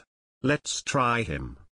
The airport lay not far from their present location, and it took them less than half an hour to reach the field. They skirted the modern terminal and soon reached a smaller hangar where several single-engine aircraft stood poised about the taxiing area. Sidestepping grease puddles, the boys entered the silver hangar and found Larry in a small, makeshift office. He was just getting into a leather flight jacket and greeted them warmly. Sure, I'll be glad to take you fellows around for a buzz. The tall, crisp-voiced pilot smiled. He slapped Chet heartily on the back and winked at Frank and Joe. What do you think, shall we charge him for extra freight? Chet, you look as if you're dressed for a jungle adventure. Chet grinned. My outfit is just for solving mysteries, and the cause of science. They followed Larry across the field to a handsome red, high-wing craft. Moments later, they were airborne. Any place in particular? Larry asked above the din of the motors as he banked away from the sun. North Bayport would be fine, Frank answered. As they flew eastward, coastal breakers came into view far below. They looked like a white lace fringe in the gentle wind. While Chet held the map spread out on his lap, Frank and Joe gazed through binoculars. I'm sorry these windows don't give you a bigger view, the pilot remarked. At least we have good visibility today. This beats feet any day, Chet remarked languidly. There's Bayport already. When they reached the city nestled around the sprawling, horseshoe-shaped inlet, Frank had Larry fly northward. They strained to pick up traces of small streams or ponds not on the map. Seeing none, they turned south, circling several times before reversing direction again. I guess the map is accurate, Frank said, after they had failed to uncover anything not charted. Have you seen a spot that could be a hideout? Joe? No. Every building looks accounted for on the map. Chet supported Joe's observation. Could we go down a little lower, Larry, or a couple of final spins? Roger. Hold on. The plane nosed gracefully to a course nearer the ground. The black highway loomed larger, dotted with late afternoon traffic. The shadow of their plane flickered on the surface of the blue sea. They had just winded into a wide turn and started southward again, when they heard a ring of ripping steel to their rear. It was followed by a thudding flash of light inches away and the shatter of glass in the instrument panel. We're being shot at, Frank cried out. Keep away from the windows, Larry yelled. He climbed frantically to a higher altitude. Good night, Joe said, stunned. Are we hit badly, Larry? The motor's choking, I'm taking her back. As they pulled westward from the Shore Road area, the boys peered from the windows again, trying to determine the source of the bullets. but the altitude was too great. Larry landed the plane safely. When investigators from the Civil Aeronautics Board arrived, the Hardys were looking at one of the slugs in the fuselage. They're from a submachine gun of foreign manufacture, one of the men reported. Frank whispered to Joe, that dud grenade was foreign made too. Makes me think of Dad's case. The Hardys apologized to Larry for the trouble they had caused. Nonsense. He smiled, wiping grease off his t-shirt. I'll let you know if we get any leads to the sniper. The boys rode to the Hardy home. There was no news of the missing Dodds or of the recently stolen cars. Chet stayed to supper but proudly partook only of Mrs. Hardy's cooked vegetables. Aunt Gertrude stared incredulously, but offered him no dessert. Later, Chet borrowed an old shirt and dungarees from Frank for the night's watch on Shore Road. After reassembling their gear they drove out to Route 7, the turnoff four miles south of Springer Road. The boys stationed themselves on a pine slope some 50 yards down the turnoff. We'll have to be on our toes tonight, men, Frank said. There's more traffic on Route 7 than on Springer or Pembroke. As darkness fell, the three arranged their shifts for the night. Joe propped up a twig fork support for the binoculars while his brother stationed their motorcycles. Chet, who was to have the third shift, settled down on his sleeping bag with a small flashlight, engrossed in a thick book on botany. You fellows are pretty lucky to have a botanist at your service, he boasted, then yawned. Boy, are you going to itch tomorrow, said Joe, and pointed to where Chet's bag rested in a patch of poison ivy. Oh alright, maybe I don't know everything about botany, Chet grumbled, dragging his gear to another spot. Hours later Chet took his watch. He sat cross-legged before the field glass tripod listening to the police calls and looking over the Hardy's log of the cars which had passed that night. Presently he heard a motor. Maybe this is it. He thought as two headlight beams appeared. The next instant Chet saw the dark-colored sedan suddenly speed up and roar wildly toward him on Route 7. It swerved, caromed off a bush, and raced down the road. The noise awakened Frank and Joe. That may be our first bite, Frank yelled. Let's go. Chapter 8 The Rings of Fire In seconds, Frank and Joe had started their motorcycles, the headlights cutting the darkness of the woods. Racing along, the boys could see the red tail lights of the speeding sedan ahead. Anything come over the police band? Joe shouted back to Chet. Nothing about a theft. The gap diminished, and the boys realized the car was slowing down. Maybe he thinks we're the police, Frank called out. But the sedan cut speed still more and began to make a U-turn. He's coming back. Let's keep with him, Frank urged. The driver appeared to take no notice of their pursuit. The boys followed him back to the turnoff and then down Shore Road. Joe called to Frank, he's heading for Bayport. Dropping back, the boys trailed the car through the quiet city streets until it drew up before the Excelsior Hotel in the waterfront area. The Hardys swung behind a parked truck. Frank motioned for the binoculars. When Chet handed them over, Frank focused on the sedan's driver, a bald thick-set man. He still did not seem to notice the boys as he crossed the street and entered the hotel. Frank flashed an excited look at the others. I think we've finally found our man. Slagle? Joe guessed hopefully. That's right. Chet spoke up. No wonder no hotel day clerks recognized his picture, he works, or steals, at night. I don't get it, Joe said. If Slagle stole that car, would he park it right in Bayport? And why the U-turn back on Route 7? Or why speed up suddenly when he made the turn off Shore Road? Chet interrupted. I don't know, Frank said, but I'm going in the hotel for a second. Joe, take down the license and description of the car. Frank came out of the hotel a few minutes later and rejoined the boys. The night clerk knows Slagle under the alias of James Wright, he reported. Apparently Slagle has kept these late hours since checking in two weeks ago.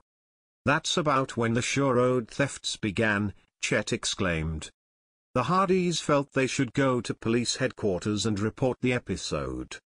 While Joe watched the motorcycles, Frank and Chet ran up the steps to headquarters. But when they reappeared, they looked disappointed. A car was stolen all right, but not the one driven by Slagle. Crumb. Joe muttered. It looks as if we'll have to stick with the Route 7 turn-off. Still, do you think Slagle is connected with the theft in some way? Frank shrugged. What gets me is the stolen car. The thief may have used Pembroke Road, but it's also possible we missed him in chasing Slagle. The three boys rode back to the turn-off for their gear before dropping Chet at home and returning to their own house. They spent a quiet Sunday, their only detective work being to call headquarters, but there was no news about the Dodds or the car thieves. After breakfast Monday morning the Hardys phoned Chet and promised to meet him and the girls later in the day for a swim off the Sleuth, the Hardys' sleek motorboat. Then they rode into town, parked, and posted themselves in sight of the Excelsior Hotel. They did not have long to wait. Slagle, dressed in army surplus trousers, boots, and a summer jacket emerged. He was carrying a cane in his left hand. He doesn't limp, Frank remarked. Wonder why he carries a cane. Slagle jumped into the black sedan and pulled out. The Hardys followed on their motorcycles, and saw him come to a halt two blocks away before a paint store. He entered and soon emerged with cans of paint in either hand. After several trips, he had loaded some 20 gallons into the trunk. He had just slammed the trunk shut when he glanced back at the watching boys. A chill went down Joe's back. Think he knows we've been tailing him? He sure doesn't act like it, said Frank. Slagle went to a telephone booth on the curb, dialed, and spoke briefly. Presently he returned to his car and moved into the Bayport traffic. It looks like Shore Road again, Frank noted, as Slagle rounded Barmet Bay a little later.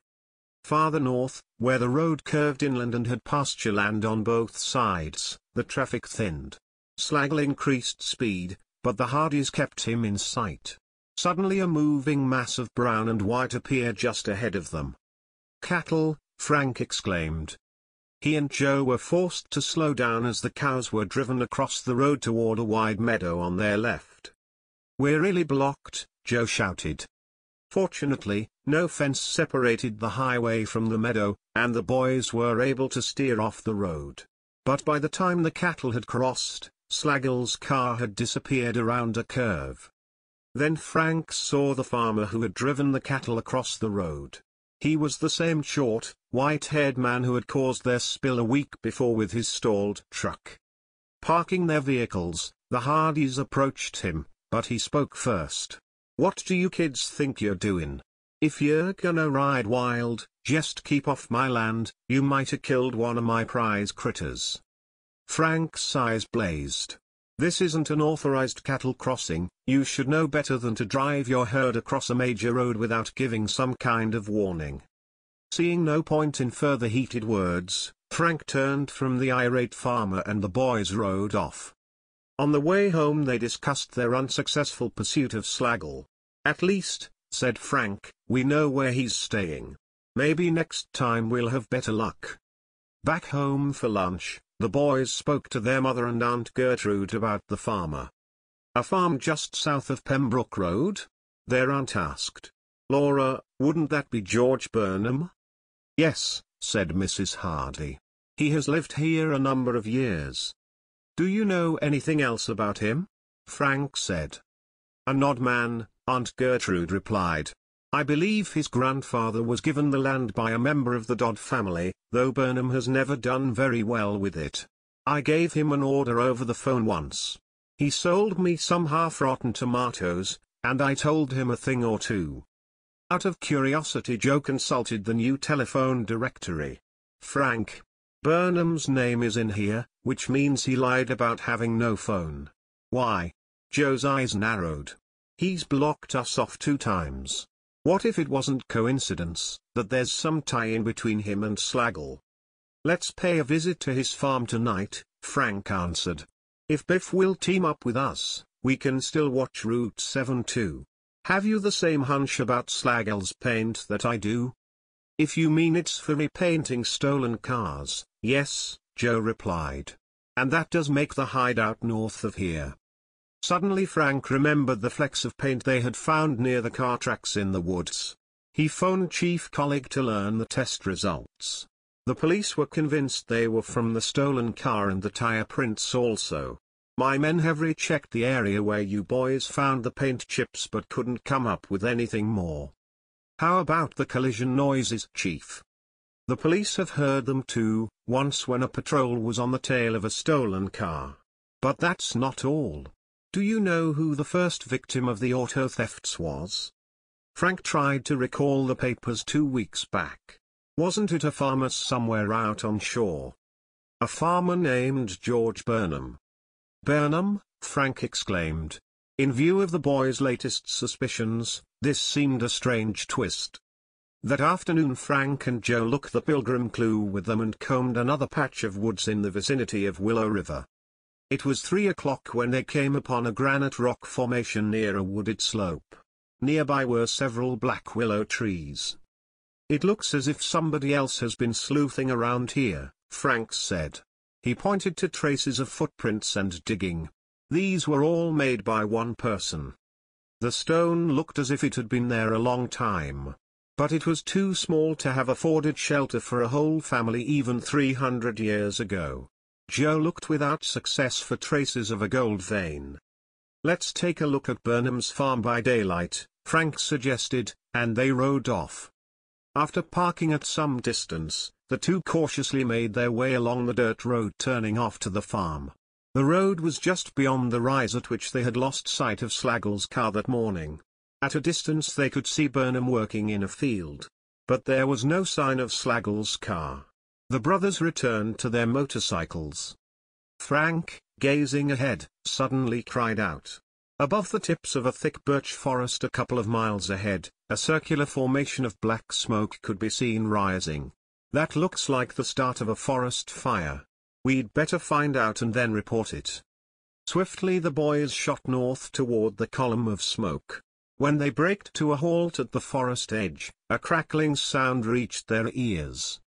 It's a fire all right, and there may be a house and people in there, Joe exclaimed. The Hardys hopped off and ran into the woods. Soon billows of choking smoke swirled their way. Tying handkerchiefs over their noses, the boys hurried forward. A minute later they reached a clearing, circled by flames.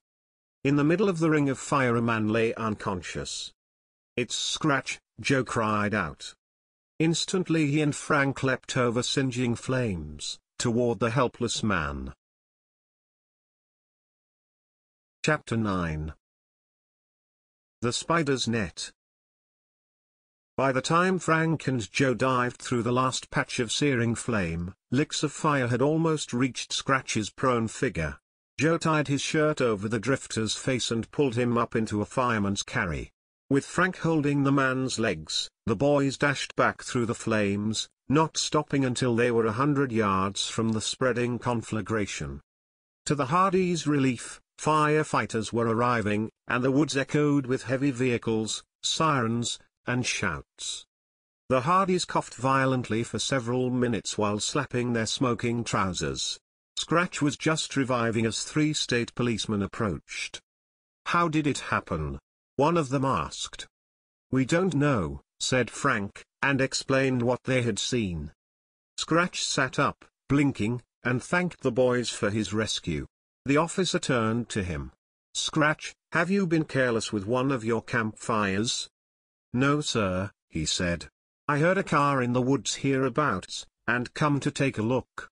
Next thing I knew, somebody put a funny smelling rag in front of my face. After that, I don't remember. The officer looked skeptically at Scratch, but the Hardys were startled. Liquid gas again. This fire could have been planned, said Frank. It was arranged in a perfect circle. I guess you're right, the officer conceded. After the fire was out and the police completed a fruitless search for clues to the arsonist, the officers and firemen left. Forest rangers continued inspecting the scene. Scratch drew the boys aside. I owe you fellas my life. He smiled. Least I can do is tell you about the tremendous spider I seen. Spider? Yep, last night, leastwise, it looked like one. The drifter shivered. Big enough to be a man, but it sure didn't move like one. Sounds weird, Joe said. Where did you see it scratch? Frank asked. On a rock ledge down the road a piece. I was strolling towards my camp when he crawled out of sight. I never seen a human spider in a web. The Hardys, knowing that Scratch was apt to exaggerate, did not take his story seriously. They did not want to hurt his feelings, so they pretended to be impressed. We've got to get going, said Joe. Take care Scratch. When the boys came out to the highway, Joe glanced at his watch. Jeepers. We promised to meet Chet and the girls for a swim half an hour ago. They whizzed off. At the dock where the sleuth was berthed, they were met with reproving glances. Not only were they late, but disheveled. Promises, promises, purred Iola Morton, as Joe slunk down the ramp. Chet's slim, brunette sister had small features and twinkling eyes, and looked very pretty in an aqua-colored swimsuit. Frank Hardy, it's about time. Sang out another voice. Callie Shore, a slim blonde in a red suit, gasped at the boy's sooty appearance. Chet sat comfortably in the back of the boat, finishing a piece of watermelon. Wow! You look like boiled frankfurters. Wrap yourselves in rolls, with a little mustard, and I'll break my diet. The others laughed, then Frank explained their delay. We'll change and be right with you. The brothers ran to a nearby bathhouse. Then they rejoined the others and started up the sleuth's motor. The sleek blue and white craft moved swiftly out into the bay, its boat chopping through glistening breakers. Frank steered around the tip of the bay and headed the sleuth north. They cast anchor near a small cove. Chet had hit the water before the anchor. Come on in. He gurgled, surfacing with immense satisfaction. Amidst jokes about a salt bath, the sooty Hardys followed the girls overboard. The bracing water refreshed them, after a rest in the motorboat, the five swimmers decided to go in again. They waited for a black fishing boat to pass. It anchored a short distance away. Then Callie dived in. Several seconds went by. She did not reappear. Something may have happened to Callie, Iola said fearfully. The three boys dived in at once and plunged beneath the surface. Twenty feet down Frank's blood chilled. Callie, her face blanched with fear, was struggling violently. She was enclosed in a small, tightly wound net. His lungs bursting, Frank reached her, grasped the net, and started upward. When they broke surface, Callie was choking and too weak to swim. Desperately, Frank bore her to the sleuth. Joe cut the nylon net and Callie was lifted over the side. She gestured that she was all right, but it was several minutes before she could explain what had happened. Some man, he was in a black skin diving suit and mask, grabbed me and threw the net around. The sound of a motor reached their ears. The fishing boat nearby was heading away. He may have come from that boat, said Frank. Let's find out. There was a black fishing boat around just before the accident to Jack's boat. They pulled anchor and Frank steered the sleuth after the fishing boat. The boys signaled to the pilot several times. He cut his engine as they drew alongside. The fisherman, young and slim, wore a checkered sport shirt and a white yachting cap. He appeared annoyed at being disturbed. What do you want? He asked curtly. Know anything about a skin diver around the cove back there? Frank asked. The young man started his motor. Skin diver? No. His craft roared away. Upset by the near-fatal accident to Callie, the five young people headed back to the boathouse. The Hardys bade goodbye to Chet, Callie, and Iola, who planned to report the incident to the maritime authorities. As the brothers were locking up, they saw Tony docking his Napoli. They related their recent adventures. Tony whistled. You've been busy. I'm out in the Napoli nearly every day, so I'll keep an eye on that fishing launch. It's sure suspicious why the pilot pulled away so fast. Also, if I see anything of the Dodds boat, I'll let you know. Frank swam frantically toward the trapped girl. On the way home, Frank and Joe stopped at the records building to check on past gold claims in the vicinity. The clerk who was familiar with the older mineral files was there. They spoke with him in a small office adjoining musty rows of books. Gold? The white-haired man repeated, smiling agreeably. Are you fellows hoping to strike it rich before school resumes? No, Frank chuckled. Our interest is historical. Have you any record of gold streaks at all, particularly north of Bayport? The old man shook his head. No son. To my knowledge, no gold has ever been found, or sought for that matter, within 50 miles of Bayport. But it's odd you should ask too. Another fellow was in here just a few hours ago looking for the same information. Didn't give his name. What did he look like? Frank cut in. The clerk removed his spectacles. Maybe 40, or 50, dark hair, a beard. Sounded like an educated fellow. The boys thanked the clerk and drove home, wondering who the anonymous inquirer was.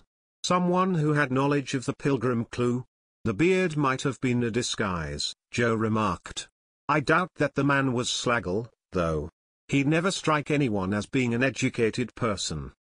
The bearded man could be the missing professor, Martin Dodd. Frank suggested. Later, just before sunset, the boys were seated in Mr. Hardy's study reviewing their sleuthing plans for the evening. Suddenly Joe stood up. Frank. Let's move our watch to Pembroke Road tonight. Frank knit his brows. But we haven't eliminated Route 7 yet. I think we can, Joe said. There seems to be a pattern shaping up, the stolen car U-turns, the warning notes from the same person, Jack's things being found at theft scenes, whoever masterminds this operation has made an effort to throw the police off track. Well, what better way than to send Slagle around a turn, leaving skid marks, while someone else whisks the stolen car away to another spot, like Pembroke Road. Joe, you're right. Decoy maneuvers. That might also account for the tire tracks and paint we found in the woods. The Hardys agreed on a plan to watch both the Burnham Farm and Pembroke Road. By now it was dark, so after contacting Biff Hooper and Chet, they met them midway out on Shore Road. There they split up, Biff and Joe going farther north with the motorcycles to watch the intersection. Chet and Frank went in Chet's jalopy to George Burnham's farm. The moon had risen, but was occasionally obscured by clouds. Frank guided Chet to a secluded woods. The jalopy was parked at the edge and the boys set out, carrying packs. Silently they walked across the dark farm fields where silvery mist gave the air a chill. When the lights of Burnham's farmhouse appeared on the west side of Shore Road, they stopped. There was no place to hide, but Frank pointed to deep furrows in a field. We can lie low between those and get a pretty good view of anything going on near the house. Chet followed Frank as he crawled under a wooden fence. The boys unrolled their sleeping bags between two rows of turned-up soil. Lying on their sides, they watched the house. Occasionally Frank glanced through his binoculars. The hours passed slowly, uninterrupted except for the rhythmic chant of katydids and the boys' whispers, both of them having decided to keep awake until one became tired. Chet bit noisily into his last carrot. Shh, Frank whispered. Burnham will think somebody's turned on that tractor I see over there. Chet muffled his bites and laughter. An hour later the boys saw a black sedan pull up the dirt road to the house. Frank watched through the binoculars. It's Slagle, he whispered excitedly as Burnham came out on the porch. So those two are in cahoots. Wish we could hear what they're saying. Presently Slagle returned to his car and drove out, heading south on the highway. Then the farmer left the porch and walked to the end of the dirt road. Frank and Chet saw the squat figure duck under the fence and cross the field some 50 feet to their rear. Fortunately, the moon had gone under again. Keep as low as you can, Frank whispered. He and Chet listened keenly. In a moment they heard a motor starting up. Frank stole a backward glance and saw Burnham seated atop the large tractor to which a cultivator was attached. What's he doing? Chet asked, burrowing deeper into his sleeping bag. Frank watched as the noisy vehicle began to move. The farmer did not turn on the headlights. He's heading in our direction, Frank gasped. He could feel Chet shaking violently alongside him. Quick, said Frank. Keep low and roll to the right. Chet struggled to obey, but his eyes bulged with desperation. I can't, the zipper on my sleeping bag is stuck. Frank yanked wildly at the zipper, but it was no use. Chapter 10 Strange Roadblock Muffling Chet's yell, Frank rolled him violently over and landed quickly on top of him. The tractor and its whirling blades missed them by inches.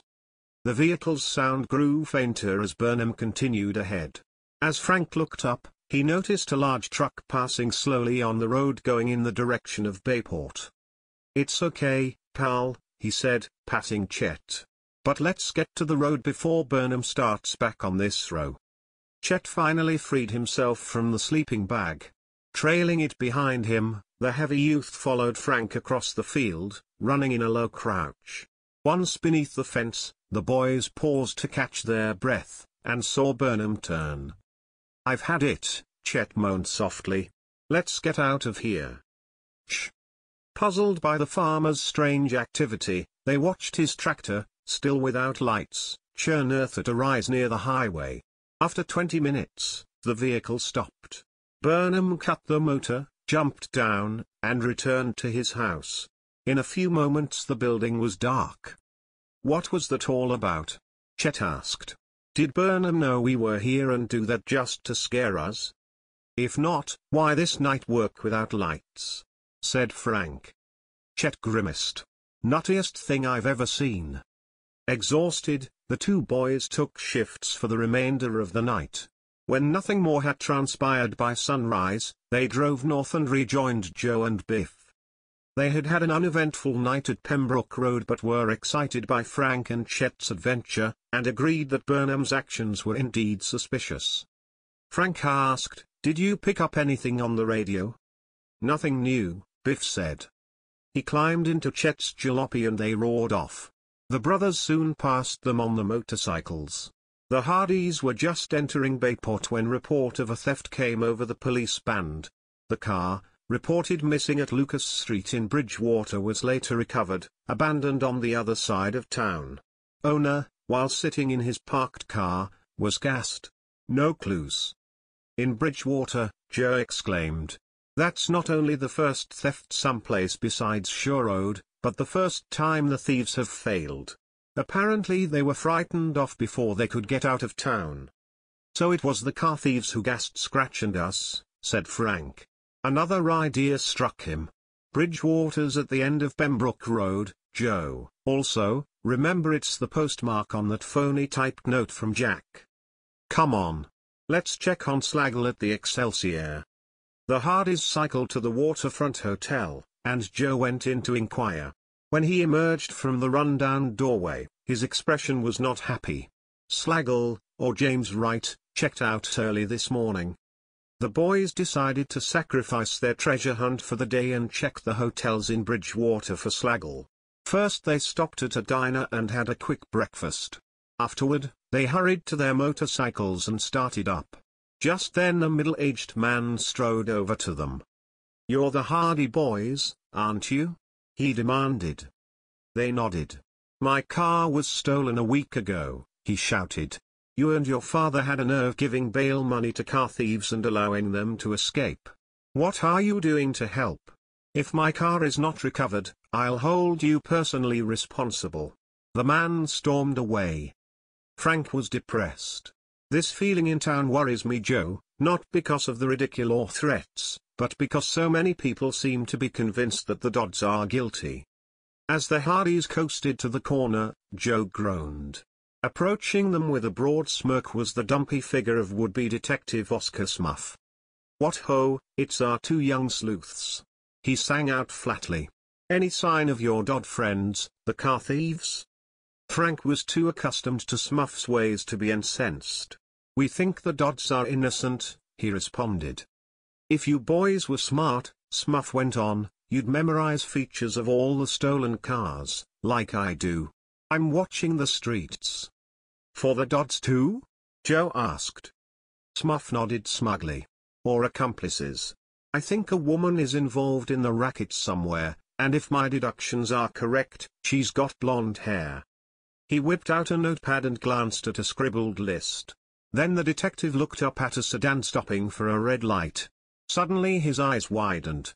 There's one of the stolen cars now. Frank recognized the blonde woman driver as Chief Collig's wife and tried to restrain Smuff. But the self-appointed detective excitedly darted into the street and up to the sedan. Poking his head in the window, he started to accuse the woman loudly. She turned to face him indignantly. The next moment Smuff stepped back, open-mouthed and flaming with embarrassment as he realized his mistake. By this time the light had changed and horns were blasting impatiently.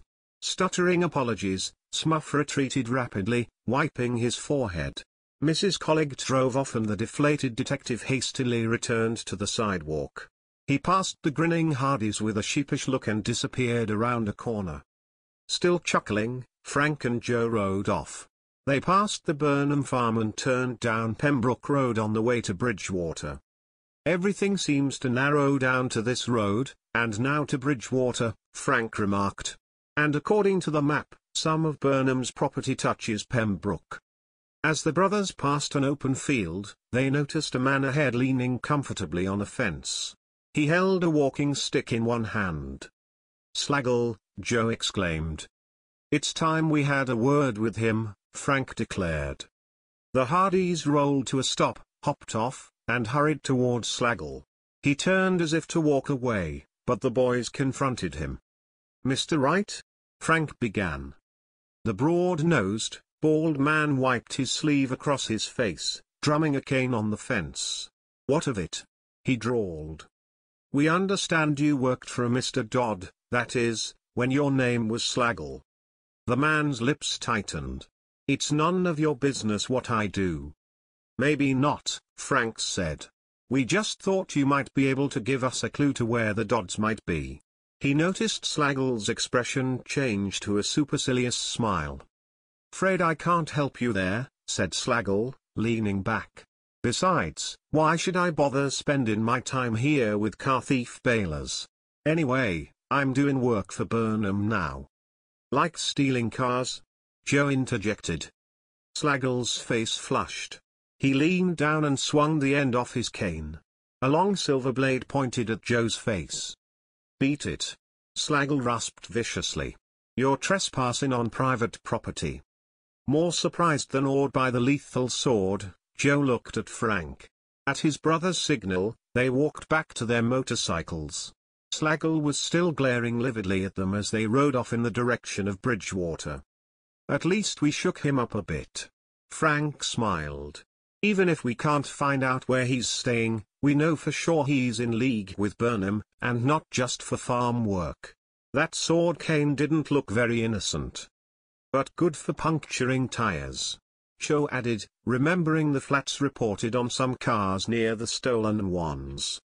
In Bridgewater the brothers stopped at a drugstore, had lunch, then purchased a town map which also had a list of the hotels in the immediate area. They were fewer in number than those in Bayport. The Hardys checked all but two in an hour. At this point, they entered one at the east end of town. The desk clerk immediately recognized Slagle's picture. Yes, he checked in today. Name of Wright. He just dropped his things off, then asked directions to the telegraph office. Frank and Joe headed for the office a block away. Inside, a woman behind a typewriter affirmed the fact that a Slagle had sent a message out, though she was not permitted to divulge its contents. As the boys walked away, Frank said, Joe, Sometimes when a person sends a telegram, he makes a draft of it first. He saw a wastebasket beneath a writing counter and hurried over. It took him only a second to find a torn piece of yellow paper with Slagle's name at the bottom. When he found the second half, the boys left the office excitedly. Outside, they pieced the halves together and read the message. More nerve now. Trying for eight-cylinder stock. Taking care of two friends. Attend to them when job done in week or so. Expect you for shipment tomorrow. The message was addressed to Carlton Mellyman in New York City. Carlton Mellyman, C. M., Joe mused. Frank. He must be our mysterious visitor who wouldn't give his name. And the eight-cylinder business, that cinches Slagle's connection with the Shore Road gang. Frank nodded. It fits. I wonder how Mellyman figures in. Two friends might refer to Mr. Dodd and Jack, which gives us only a week before, we're going to have to work fast. If we only knew what this shipment is and where it's going, Joe murmured.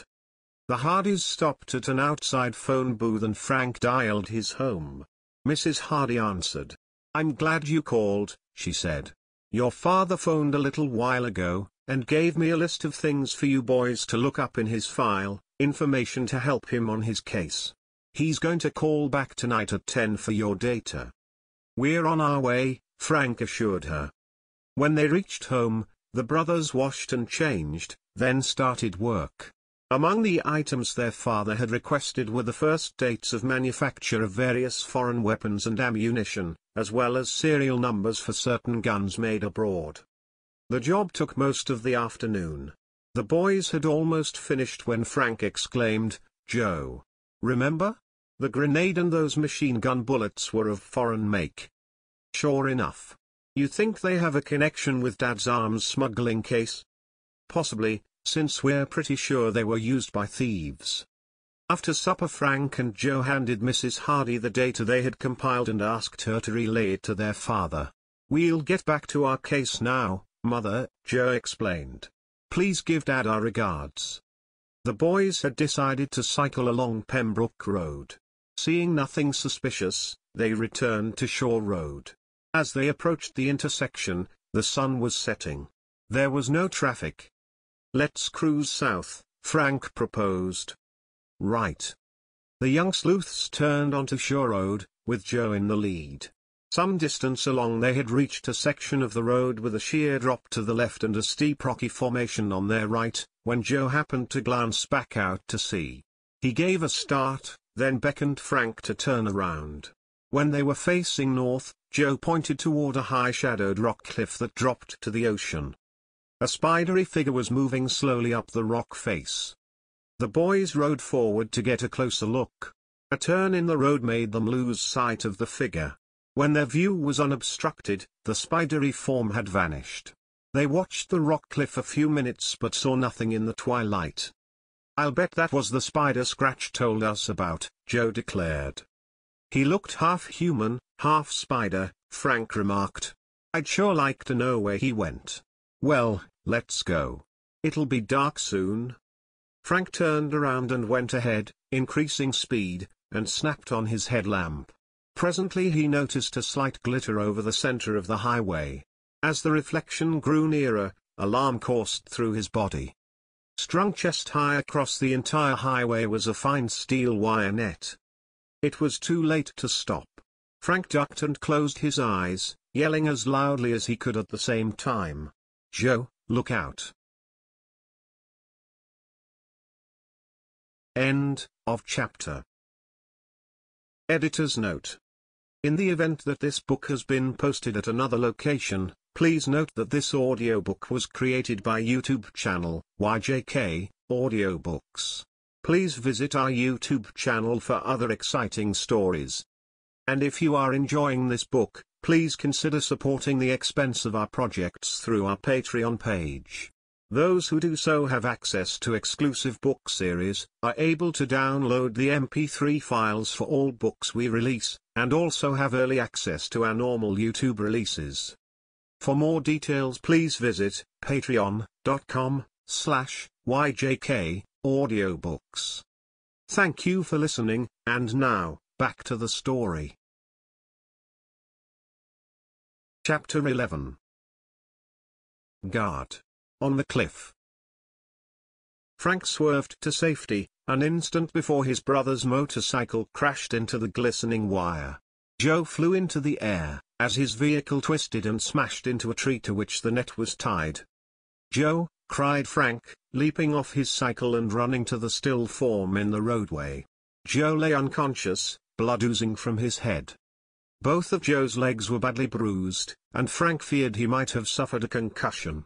Frantically Frank waved down an oncoming car. The driver offered to take Joe to Bayport Hospital. Frank followed on his motorcycle. Joe's motorcycle lay in a tangled heap of grey steel and chrome. An hour later Frank, Mrs. Hardy, and Aunt Gertrude stood at Joe's bedside in the hospital. A physician watched Joe as he mumbled, moving his head slightly. He has had a nasty shock, but he should be coming out of it soon, he reassured the others before stepping quietly from the room. Just see that Joe gets plenty of rest in the next few days. After spending the night at the hospital, Joe was moved home. He had a slight limp and wore a large bandage on his head. How do you feel, partner? Frank asked, as Joe rested on the living room couch. A little weak. He grinned. But still in one piece. Who put up that wire? I wish I knew Joe, but my guess is it was the work of the car thieves. They had the wire netting ready to string across the road. Was there another theft? Joe asked. Yes. This time they copped one from the Ely estate during a dinner party, the Ely estate. Why, that place is walled in like a fortress. Right. Those thieves are bold, all right. Joe, that barrier across the road reminds me of the nylon net Callie was trapped in underwater. I have a hunch one of the thieves is a skin diver. Joe whistled, then grinned.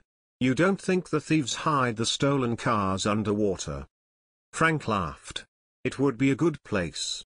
Maybe that Spider-Man owns an underwater garage. At that moment Mrs. Hardy and Aunt Gertrude came into the room, dressed to go shopping. Joe, promise me you'll rest, his mother said, her face much brighter than it had been the night before. Except for this limp, he said, smiling, I feel as if I could run ten laps. Don't you dare Joe Hardy. Aunt Gertrude scolded. The two women had been gone half an hour when the boys heard the front door open and a familiar voice call, Hello. Where is Joe? Dad. Fenton Hardy strode with concern into the living room, his face relaxing when he saw Joe sitting up. After shaking hands warmly with his sons, he asked, You all right Joe? Mother phoned me about your accident. I'm okay Dad. Joe grinned. The brothers briefed their father on what had happened to date in the mystery. When they mentioned liquid gas, the foreign grenade, and machine gun bullets, he started to say something, then changed his mind. I have some hunches. If I'm right, he stopped. It's my opinion you're up against a highly professional operation. Promise me you'll be careful, for the Dodds' sake as well as yours. How about your own case Dad? Frank asked. I'll be doing some risky undercover work in the next day or so. Sorry I can't tell you about it now, but you can reach me at the usual New York address. Meanwhile, you boys use the family car. I understand your motorcycle, Joe, is a wreck. Frank drove his father to the airport and came home for a light salad lunch. Mrs. Hardy apologized for the wilted lettuce. Apparently a different farmer is supplying stores in town since the Dodd disappearance. Later, Joe persuaded his mother to let the boys go out in the sleuth, promising he would be quiet. At the Prito boathouse they noticed that Tony's boat was not in dock. If we can find Tony, he may have some leads on that strange fisherman in the black boat, Frank said, and drove on to the Hardy boathouse. I'll take the wheel, Joe volunteered. That won't hurt my legs. The sleuth's powerful engine droned smoothly as they cruised south to Willow Beach. Then they turned back across Barmet Bay and north. Just past Beacon Point the boys caught sight of the Napoli. Waving to Tony, they drew alongside. Wow! What did Iola do to you? Tony asked, looking at the bandage on Joe's head. Somebody handed me a line, Joe quipped, as Frank laughed. The Hardys told Tony of the accident. He asked several questions but seemed eager to tell them something himself. Would you guys believe me if I told you I saw a, a huge spider, out here last night? Tony described a black form scampering into a crevice in a rock cliff farther up the coast. Frank started. We saw one too. Where exactly did you see the spider? Tony paused in thought. On a cliff just south of that big seaside estate. The Ely estate, Joe exclaimed excitedly. Frank, it was on that same cliff that we saw the Spider-Man. The Hardys mentioned the theft which had taken place at the estate the previous night and wondered what relation the spider could have to it. That's not all, Tony continued. I've been watching our fisherman friend, the one you told me about. Apparently he does some of his fishing at night. Sometimes he has one lamp on his boat, other times two. He keeps on the move up and down the coast. Is he fishing? Frank asked. I guess so, or else trolling. I didn't want him to catch on that I was watching and kept the Napoli at some distance. In the sleuth the Hardys followed the Napoli north along the coast to the place where Tony had seen the spider. The ocean washed at the foot of a high rock cliff, atop which the Ely estate could be seen. The boys glided beneath an overhanging ledge. It'd take a skilled climber to scale that and steal a car, Frank remarked, training his field glasses up the sheer wall. Joe, meanwhile, noticed a gossamer-like pattern in the water. Look fellows. The three boys stared at the ghostly, web-like rope floating in the waves. With a pole, Frank pulled it aboard. It's rope netting, probably for climbing, Frank exclaimed. I have a hunch our Spider-Man is an accomplished climber. And car thief. Joe finished. He could easily, at dusk, look like a spider. But still, Tony put in, that can't account for the daylight thefts. Anybody swimming in or climbing a precipice like this would be seen. Tony said he had also discovered that the fishermen moored at a small inlet to the north along the coast. The Napoli and the sleuth sped to the area. A makeshift dock extended from a narrow crescent of sand at the base of a high bluff with a no trespassing sign nailed to it. Several boys dotted the water out from the shore. As Frank gazed at the peaceful scene, he wondered, could stolen cars be shipped out by sea from this beach? The possibility seemed unlikely. Not only was the water cluttered with boys, but the only grassy slope leading down to the beach was too steep for cars to descend. The two boats ran farther up the coast. Frank gazed at the shore through binoculars. Seeing nothing suspicious, they turned back. They were passing along the fisherman's secluded beach when Joe's hands tensed on the wheel at an eerie sound. Something had scraped against the sleuth's bottom. I'm going overboard to take a look, Frank said. He stripped to his shorts, kicked off his shoes, and dived in. The scraping sound had stopped by the time Frank was underwater and he found no sign of any rocks beneath the craft. Another thought occurred to him. Had somebody intended to sabotage the sleuth as he had Jack's boat? Frank could find no evidence of this on the bottom of the sleuth. Climbing back into the boat, he reported this fact, then suggested they move along the coast for more sleuthing. As they left the area, Frank watched the coast through binoculars. Suddenly he said, Joe. Slow down. I want to get a better look at the top of that bluff. Through the two eyepieces, he could see a lone figure peering, through similar glasses, at the boys. As the man removed his binoculars before disappearing into the brush, Frank's recognition was instant. Carlton Merriman. Chapter 13 A Hungry Sleuth do you think the message is another trick? Chet asked as Joe studied the note. Could be. The handwriting's not Jack's, but it could be Mr. Dodd's. What do you think? Chet shrugged. It sounds like Mr. Dodd, but I still think it's suspicious. You're not going to go, are you? Joe paced the room. If only Frank were here. He looked at his watch. It's almost noon now. That doesn't give us much time to decide. At last he made up his mind to go to the rendezvous. I can't afford not to go, wouldn't sleep tonight if I just dismissed the possibility that the Dodds really may have escaped. There isn't time to check the handwriting. Keep your fingers crossed.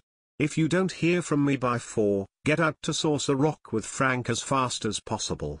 Meanwhile, good luck in town and don't let Burnham's driver see that you're tailing him. After seeing Joe off on Frank's motorcycle, Chet was called by Aunt Gertrude to the kitchen. She handed him a wrapped, warm box. What's this? he asked. Since you're going into town, you won't mind dropping this cake off at Mrs. Bartlett's house on Kent Street, will you? I'll be glad to. When Chet reached the business district, he pulled his jalopy over to the curb. Guess I'll deliver the cake later, he said to himself. Chet felt very empty. Should have had a bigger lunch. He squared his shoulders and took out a list of Bayport markets supplied by local farmers. He hoped to pick up the trail of the Burnham's produce truck. Guess I'll start with Max's supermarket. From his pocket he took out some watercress and munched on it. There was no red truck bearing the name Burnham at the large, block-long store. Chet drove onto the food fresh market three blocks away. Seeing only a blue truck unloading vegetables, he headed farther down the street to a smaller store. He checked vehicles parked at the rear. No luck. Back in his jalopy, Chet looked longingly at a pork roll sandwich stand crowded with customers. Boy. I could go for a nice, juicy, well done, quickly he drove out of sight of the stand. At Castagna's grocery near the waterfront, Chet obtained the names of stores usually supplied by the Dodds now jobless truck driver. These must be some of the places giving Burnham business now, the youth concluded, stuffing the list into his pocket. In the car again, he spread the paper out on the front seat, moving Aunt Gertrude's cake box over. For a moment he eyed it hungrily, then drove off. By 2.30 he had covered five of the nine listed stores without seeing the red truck. He shut off the motor and relaxed. His stomach rumbled. Should have eaten something at the Hardys', he thought, and again looked at the cake box. Taking out a pencil, Chet crossed out the stores and markets he had already covered. He sighed wearily. The vegetable deliveries may be over for today. Wonder what kind of cake Aunt Gertrude made. Four places to go. Wonder. He lifted the lid of the white box and sniffed. Chocolate fudge, my favorite, he sighed, then started the motor and proceeded to Frankel's Market. Burnham's truck just left here, the manager told him. About five to ten minutes ago. I think he goes to a place on the west side of town after us. That must be the other food fresh store, Chet thought. Getting into the hot car, he again sniffed the cake box. Slipping the string off, he opened the cover, and beheld the luscious whipped chocolate frosting. His stomach growled as he wiped his forehead. Maybe a little taste. Finding a large gob of frosting that had fallen off he thumbed it. Carefully he picked it up and laid it on his tongue Mm, he murmured. When Chet reached the food fresh market on Kennedy Street, he learned that the Burnham truck had not yet made its delivery. The man in charge of the produce department told him it was uncertain when the truck would come. Guess I'll wait, Chet said, but almost immediately returned to the car. Untying the string again, he took a small dab of frosting. After half an hour Chet got out, stretched, and paced back and forth in front of the restaurant. Then he got back in. He felt weak with hunger. The car was very warm. As the cake frosting became stickier in the heat, occasional breezes wafted its fragrance to Chet's nostrils. He opened the box. Just one more lick. By now, he had eaten all the uneven gobs of chocolate. Chet sighed. Slowly he ran his finger lightly around the cake in a complete revolution, chuckling. Mrs. Bartlett won't even notice. After licking the frosting off his thumb, he studied the cake again. One part of the swath he had made was wider than the rest. With his finger he made another circuit to even the groove, but in his eagerness dug in too deeply at one place. Oh, now I've done it. He moaned. Glancing out the window, he still saw no sign of the red truck. His eyes returned to the inviting cake. Can't just leave it that way, he mused. Then he swallowed. Morton, get hold of yourself. Chet got out and plodded to and fro. No red truck. Sighing, he climbed into the front seat and uncovered the cake box again. If I just cut off that little gouged piece, I can tell Mrs. Bartlett I snitched a tiny bit. Chet sat back, tucked a handkerchief into his t-shirt, and having no knife, made a small wedge of two pudgy fingers to push down through the thick, melting frosting. A minute later his hands and chin were daubed with chocolate. The hungry boy surveyed the damage. Several thumbprints surrounded the drooping surface near the small missing segment. Besides, his fingers had cut wider and wider on their paths toward the plate. Got to even it off. Twenty minutes later Chet was still evening up the wedge and making it larger and larger. Suddenly he heard a heavy motor and saw a huge, red truck marked Burnham pull into an alley next to the store. He climbed out and crossed the street. Chet leaned heavily against a mailbox. He had a clear view of the back end of the truck as it was unloaded by the driver and two store employees. This appeared to be the truck's final delivery, for its eight or ten remaining vegetable crates were removed and taken into the store. That truck's big enough to carry two cars all right, he said to himself. The tough-looking driver started the motor and began backing out. Chet hastened to his car, his stomach feeling a bit uncomfortable. Behind the wheel, he loosened his belt. Wonder where that driver's going, Chet thought. A block from Barmet Bay he saw the produce van pull into a large, dilapidated, brown shingle warehouse surrounded by a vast, junk-filled lot.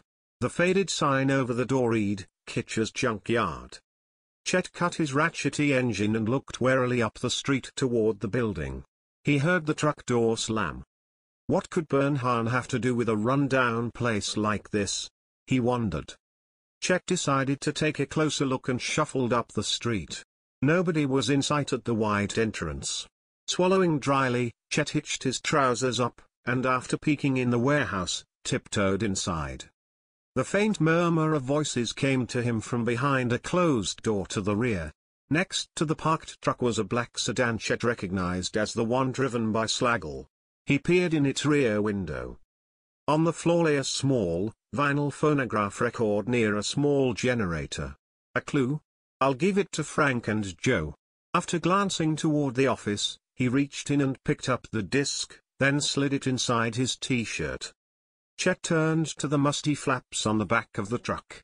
His face red with exertion, he clambered up and squeezed through the flap opening, letting some light into the rank-smelling interior. On the stained, bare floor were scattered splinters of wood and random, rotted greens. If these vegetables don't prove to be clues, he thought, I can use them for samples of botanical deterioration. As he scooped the various greens into his pockets, Chet noticed, on the scratched floor, muddied, ridge-like patterns, Tire tread marks, he gasped. Then he heard the voice of an approaching man, calling back to the office. No, the kids'll fall for the trap. Slagle's waiting out at Saucer Rock to take care of them. Good night, Joe. Joe's out there. Chet realized, suddenly feeling sweat on his forehead. His heart thumped wildly. I must get back. Just then the truck flap flew open and light flooded the interior. Glaring in at him, Chet saw the hard face of a stocky, red-haired man.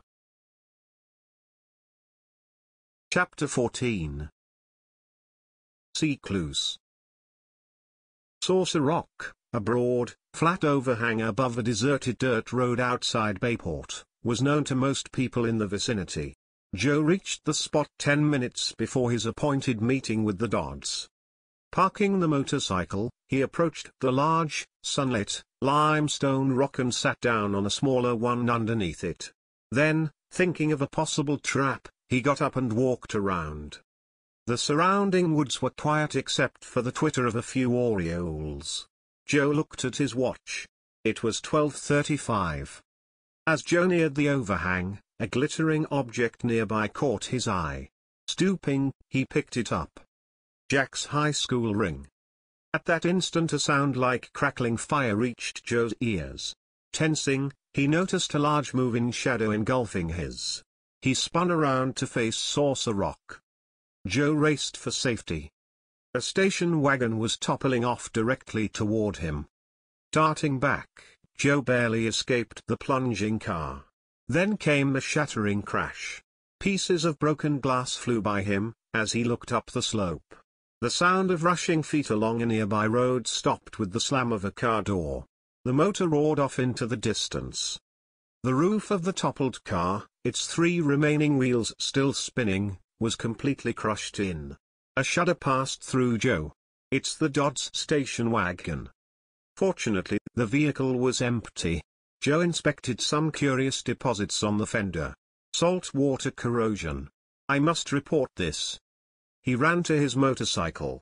After telephoning chief Collig from a farmhouse, he drove home. Frank returned from his trip moments later. He was stunned by his brother's story. The men must have timed it, knowing we wouldn't have a chance to study the handwriting on the note. I hope Collig's men can nab them. I'll bet it was Slagle's work and now he'll probably lie low and keep away from his job at Burnham's. What about your trip? Joe asked. Any luck? Some. I saw several good used cars. We might buy one. Just then the Hardys heard a familiar chugging sound in the driveway. Then the heavy plodding of two feet through the kitchen and into the living room. Chet, how did it go? Joe welcomed their friend. Say, you don't look very happy. Joe, you're home. You're safe. Chet exclaimed. He collapsed into the large green armchair. Phew. Have I got an earful for you fellows? Fanning himself with a magazine, Chet told the Hardys of his adventure. They leaned forward when he mentioned the junkyard. And when I saw this guy glaring at me, I decided it was now or never. So I landed on him. Landed on him? Chet nodded, pride swelling his chest. Just took a run, sailed off the end of the truck, and knocked him off balance. Then I dashed to the car. He didn't know who I was, so nobody chased me. Joe laughed. It's a good thing you've been keeping in training on that diet. My, diet? Chet gulped. Oh yeah, that. At Chet's report of the tire tracks inside the Burnham truck, Frank jumped up. That proves it. The gang is shipping the hot cars into Bayport in that truck at night. Were there autos in the junk lot Chet? I never noticed. I did get these.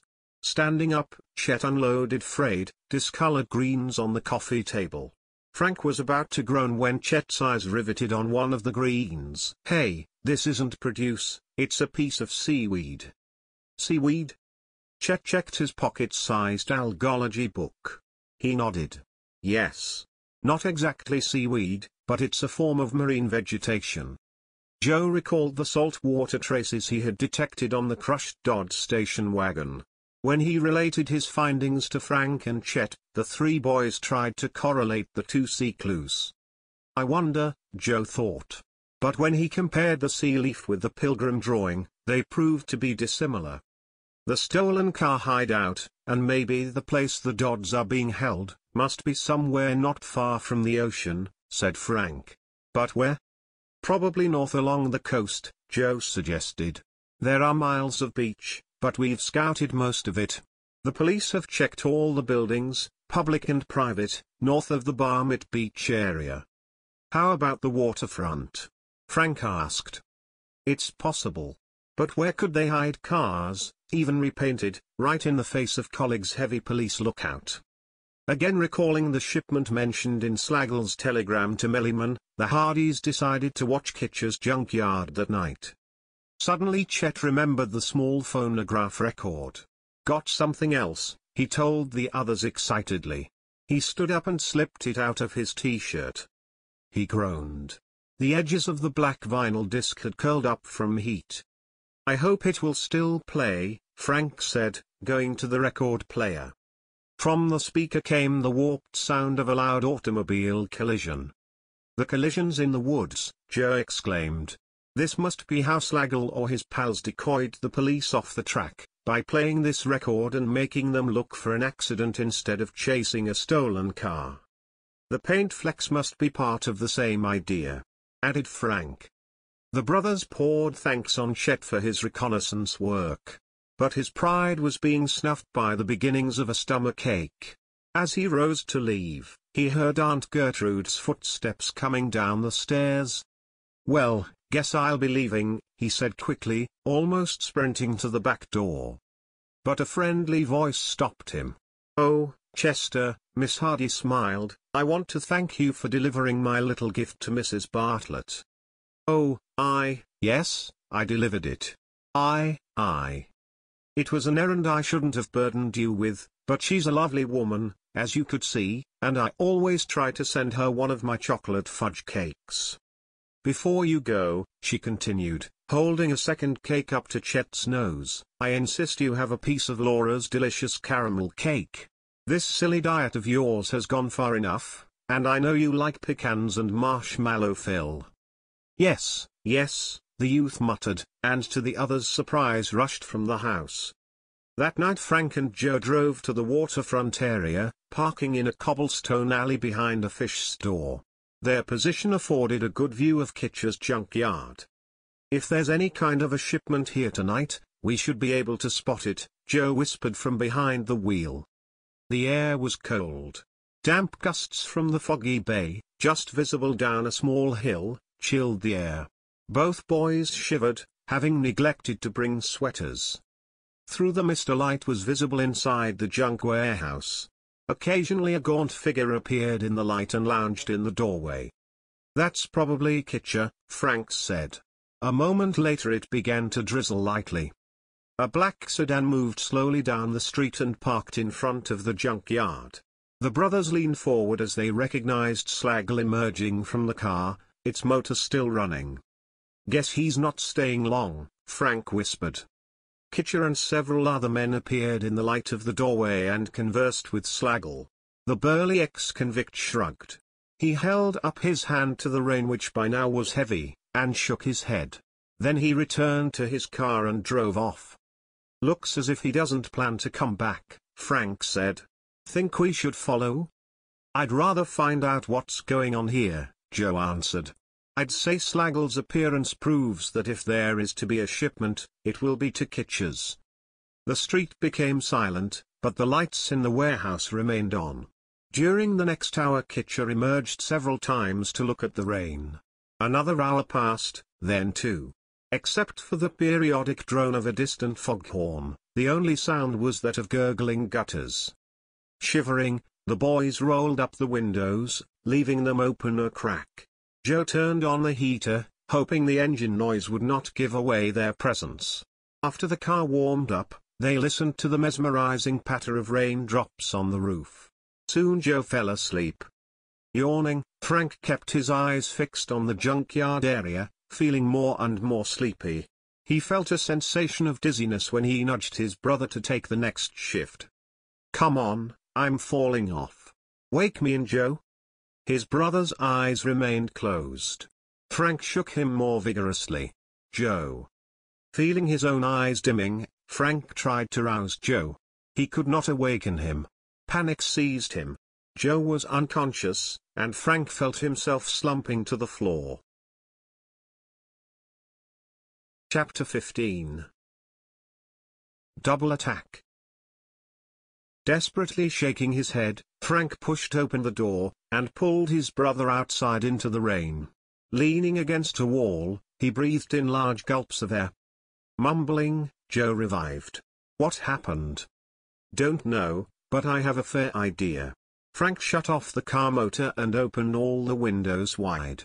My guess is carbon monoxide. I don't get it. We left the windows open enough so we shouldn't have had that much CO inside. Somebody may have clogged our exhaust. Frank investigated but nothing was stuffed into it now. The warehouse was dark. I wonder when the men left, Joe said, disappointed. The brothers crossed the silent, dark street. The warehouse door was locked, so the Hardys peered over the fence into the lot. The yard was strewn with junk, including numerous heaps of rusted piping and battered automobiles. Well, chalk off one wasted night, Joe said as they returned to the car. It wasn't exactly dull. Frank smiled. I have a hunch our friend's shipment may come off tomorrow night. Maybe the weather changed Slagle's mind. By late the next morning the weather had cleared. After wiring their father, the boys repaired the car exhaust which, they found, had been punctured in several places. I wonder when those crooks did this, said Frank. Probably before we left here last night. After lunch Frank and Joe drove out to the Dodd farm for their appointment with Martin Dodd. Parking near the barn, they got out and waited. Presently Frank looked at his watch. The professor should have been here by now. Fifteen minutes later the brothers walked to the back of the house. Here the ground was still muddy from the previous night's rain. Frank pointed out a confused jumble of footprints and suddenly Joe stumbled on a hard object in the mud. Looking down, he gasped in alarm. It was the broken half of a smashed telescope. The professor must have been in a scuffle, he said. Nearby Frank found a dead bat. Both boys recalled the one they had seen on the beach some days before. I may be crazy, said Joe, but I wonder if somebody's leaving these dead bats around on purpose. Finding no clues to Martin Dodd's whereabouts, Frank and Joe drove away. I'm worried, Joe, said Frank. If Slagle and his gang have captured the professor, every move we make may endanger the lives of three people. I wonder, Joe replied, if the professor came upon a clue to the car hideout. Or the answer to the Pilgrim mystery, Frank added. The Hardys stopped at headquarters to report the professor's seeming disappearance. Chief Collig was concerned, and said he would order his men to conduct a search. Back at the house, Frank and Joe found a coded telegram had arrived for them. It's from Dad, Joe said. Boys, have learned we are working on the same case. Merriman member of gang smuggling gas, weapons to hidden arsenal somewhere near Bayport.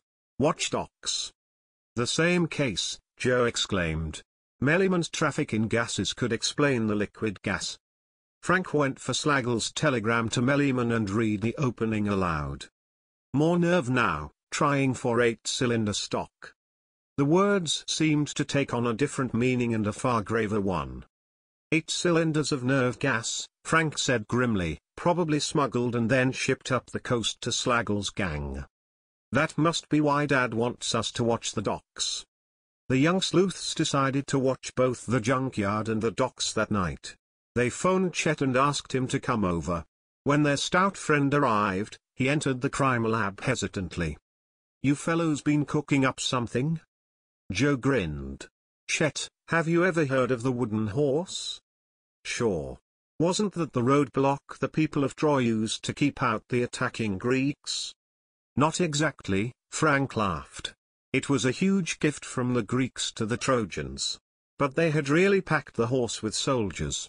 When the Trojans accepted the gift, the Greeks were able to get inside the city walls and defeat them. What of it? Chet shrugged. We have a similar plan. Frank clarified his remark. We've decided that if everything else fails, there's one way we might blow this case wide open. That's to buy a car and allow it to be stolen. Buy a car, Chet exclaimed. Yes.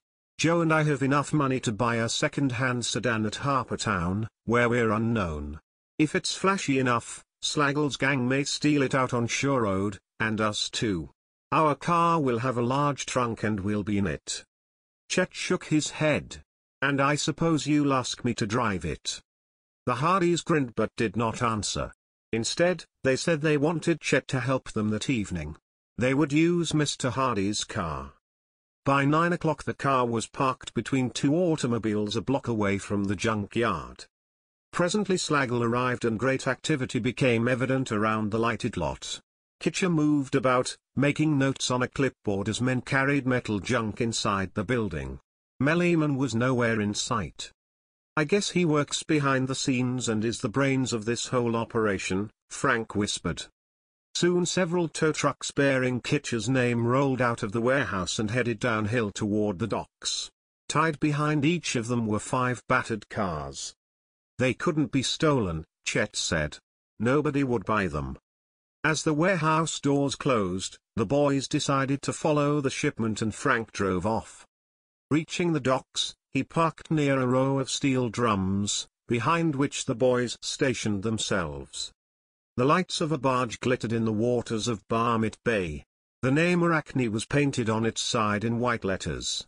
The dilapidated cars were being unhitched from the tow trucks and rolled toward the barge.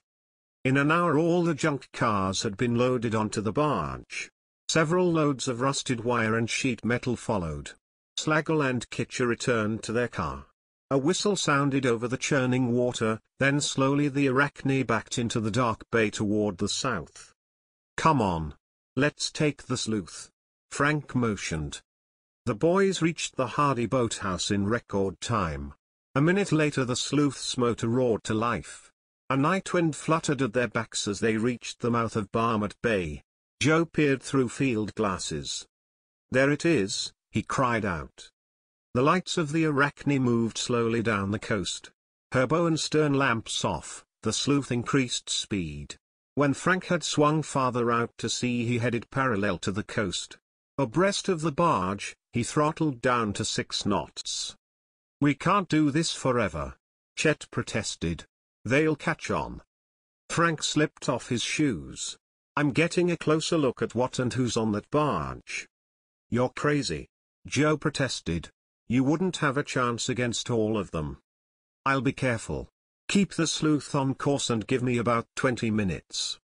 Before Joe could say more, Frank was overboard and swimming toward the ghostly lights. He was midway between the two crafts when Joe saw the black fishing boat. Joe stiffened with fear as he deciphered the international code message which was being flashed by lights from the fishing boat to the barge. 1. Of. Hardy. Kids. Swimming. Toward. You. Stop. Him. Joe jumped into the water instantly and swam toward his brother. Frank, fighting strong currents, had not noticed the warning. Minutes later, he reached the barge and caught his breath. Then, grasping the damp wood with his wet hands, he pulled himself up and slid noiselessly over the side next to a braced car. Suddenly someone struck him a hard blow on the head. His next sensation was of falling to the water. Frank blacked out before he reached it, but revived as he felt two arms grab him and take him to the surface. Desperately, Joe bore his brother through the waves to the darkened sleuth as the noise of the barge motors became fainter and fainter. Joe was almost at the end of his strength when he touched the hull of the sleuth. Chet leaned over and hauled Frank, semi-conscious, aboard. The next instant, Joe heard Chet cry out and saw him topple backward out of sight. Grabbing the rail, Joe swung into the stern of the boat. To his horror, Chet lay motionless beside Frank. Joe whirled to face the attacker, a muscular, black figure in a glistening skin diving suit. The man raised a sharp dripping piton, and lunged at Joe. Chapter 16 Retreat, Trick Blocking the thrust of the spike, Joe threw all his remaining strength into a hard-fisted uppercut. The blow sent the diver reeling against the fan tail of the sleuth. Staggering, the black figure noticed Chet beginning to revive. In a flash he dived overboard, and disappeared. Joe hurried over to Frank, who by now was sitting up groggily. Thank goodness you're all right, he said. Chet, you okay? Chet Winston rubbed his jaw, but smiled gamely. You Hardys are the ones I'm worried about. You can't keep us down, Joe said with a grin as he helped Frank to his feet. Thanks for saving my wet skin, Frank said. Shivering, Joe crouched out of the wind and started the engine. He pointed to starboard. Look. Fifty yards away the fishing boat idled in the waves, its lights extinguished. Through the darkness, the boy could see its pilot pulling another figure aboard. Then the boat sped in the direction of Bayport. Let's go, Frank said. The sleuth followed. It was just closing the gap near the mouth of Barmet Bay when the motor began sputtering. The gas gauge read empty. In disgust the boys watched the black boat vanish down the coast. How are we going to make the boathouse? Chet asked nervously. Frank pointed to the emergency oars. The tide's coming in, so that'll help us row. Joe was angry about the fishing boat and its occupants getting away. Frank consoled him. At least we've learned the owner of that boat is in on this racket. Also, I'm sure we had our first meeting with the Spider-Man. Who? Chorused Joe and Chet. The skin diver, he's powerful enough to scale cliffs. And that bike he had is used for mountain climbing. Chet shuddered. Or a weapon. He's the one who trapped Callie in the net, Joe added. Frank expressed disappointment at his failure to get a look aboard the barge or at the man who had knocked him into the water. We'll have to tackle the problem from another angle. Not tonight. Chet begged. we've had enough. The Hardys agreed and the boys rode wearily to the boathouse. First thing the next morning Frank checked with police headquarters. There were no leads to any of the missing Dodds. The brothers were discussing what move they should make next, when the telephone rang. It was Tony Prito. He excitedly asked the boys to come to the Napoli's boathouse at once. It's important. When they met him, Joe asked, What's up? Can't tell you yet. Their friend, wearing swimming trunks, hurried them aboard his motorboat and steered north out of Barmet Bay. He slowed down just past Bay Bluff. I think I saw something out here yesterday, and if it's what I suspect. Tony headed toward the shoreline, studying the water closely. Suddenly he cut the motor and leaned over the side. The Hardys followed his pointing finger. Down there. Beneath the grey surface of the water, a slight glimmer of light was visible. Straining their eyes, Frank and Joe could make out part of a green and white object. Their hearts jumped. Jack's boat, Frank exclaimed. Do you think, he did not voice the dreadful thought that crossed each boy's mind. Tony said tersely. We won't know until one of us goes down there. I'll go. Tensely Frank and Joe watched Tony's lithe body cut the water and his distorted image vanish into the depths. They waited in grim silence.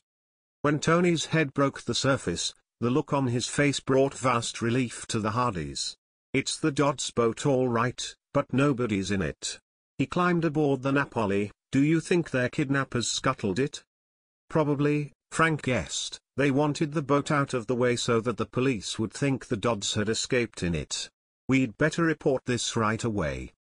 Tony drove back to Bayport and the brothers went home. They had just entered the kitchen door when the telephone rang. Joe answered it.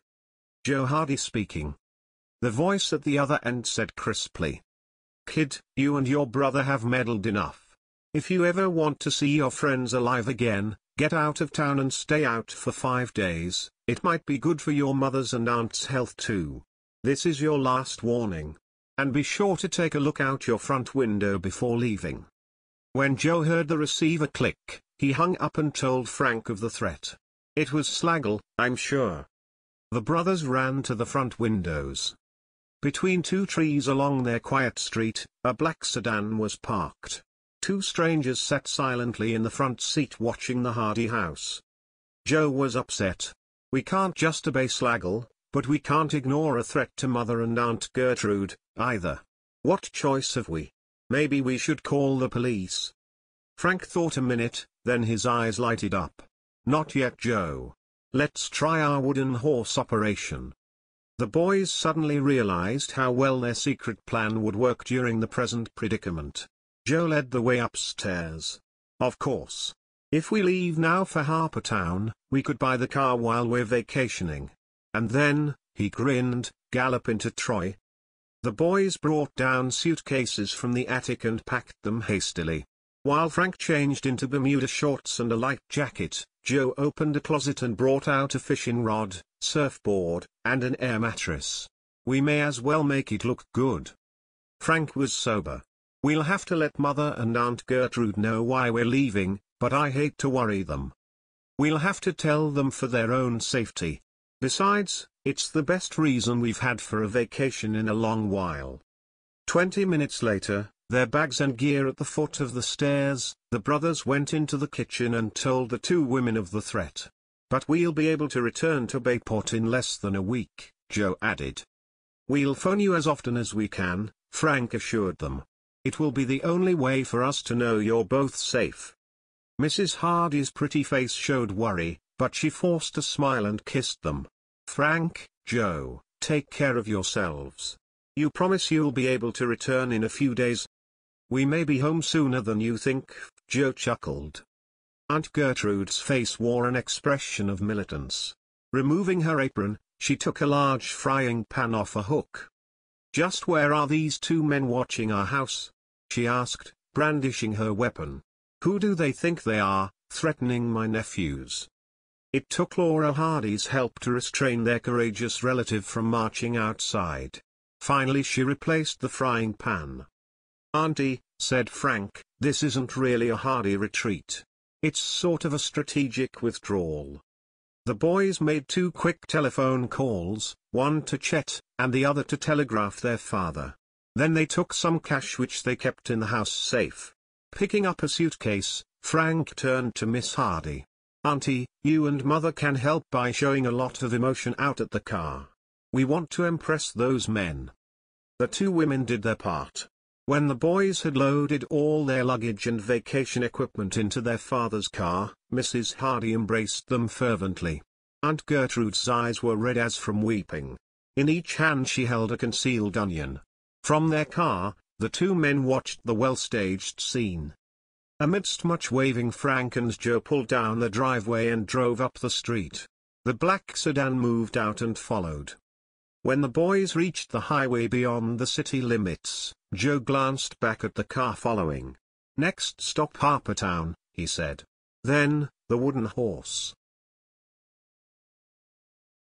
Chapter 17 The Wooden Horse Frank kept the car at a leisurely speed.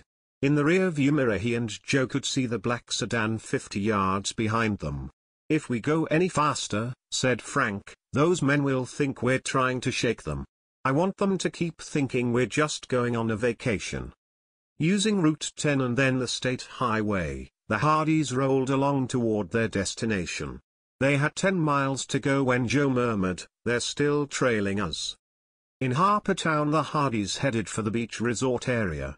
Soon they drew up before a large seaside motel. Frank took several bills out of his wallet and handed them to Joe. We'd better pay for a week to make it look good. Frank stayed behind the wheel while Joe went in to register. When he came out again, they took their luggage from the trunk. Our friends are still along, Frank whispered. Joe could see the black sedan parked to their rear half a block away.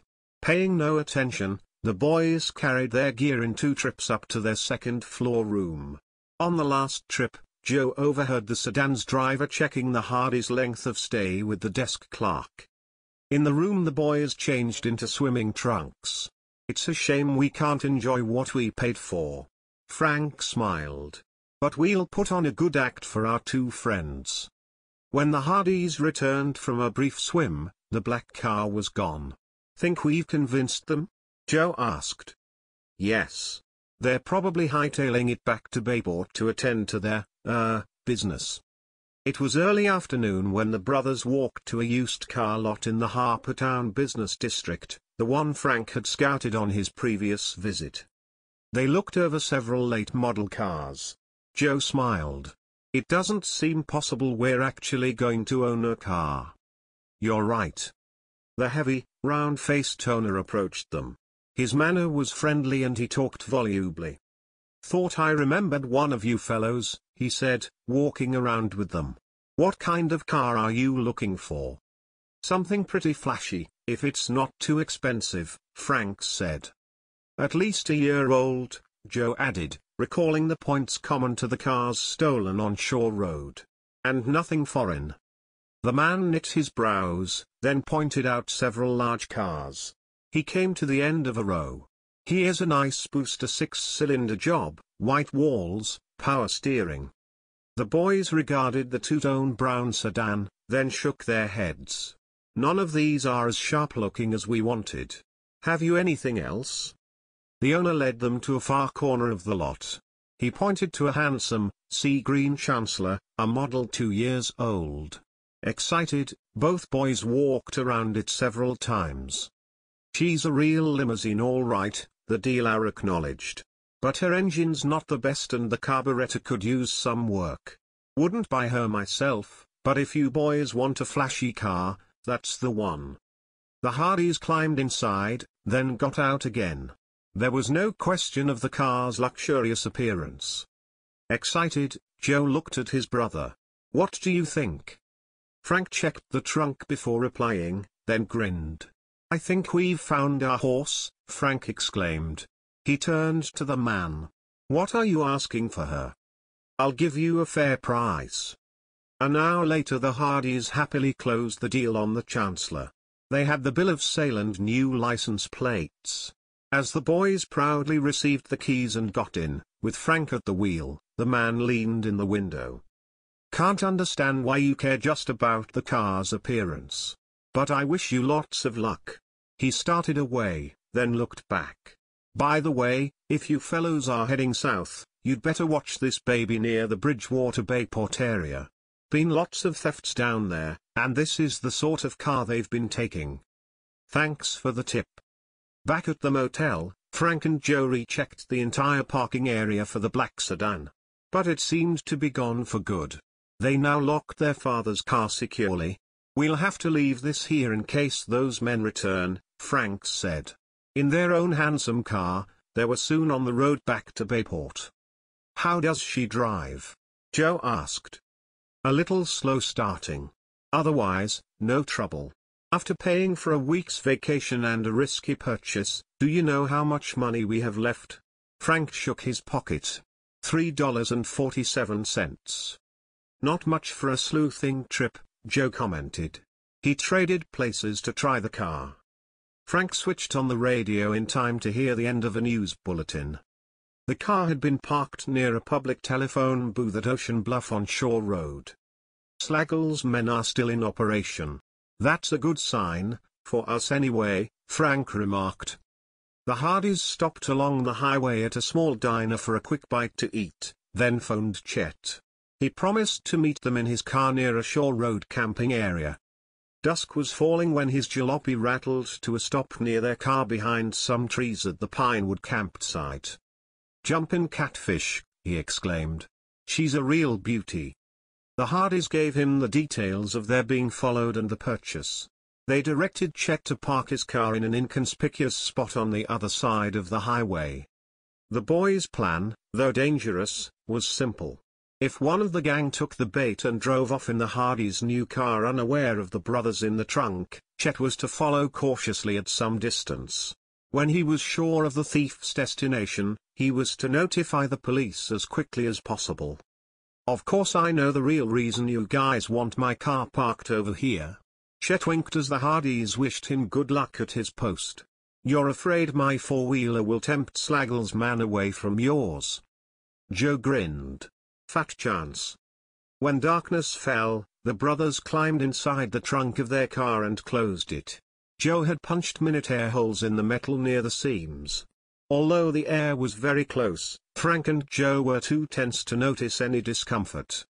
Several hours passed, as they crouched in rigid silence. The only sounds were those of cars passing north and south on Shore Road. The luminous dial on Frank's watch read 1.30 when they detected approaching footsteps. The Hardys stiffened. The crunch of feet on gravel became louder, then stopped. After a silence, the boys felt the car door being opened and an added weight in front. Joe bit his lips. The motor turned over weakly, sputtered, and died.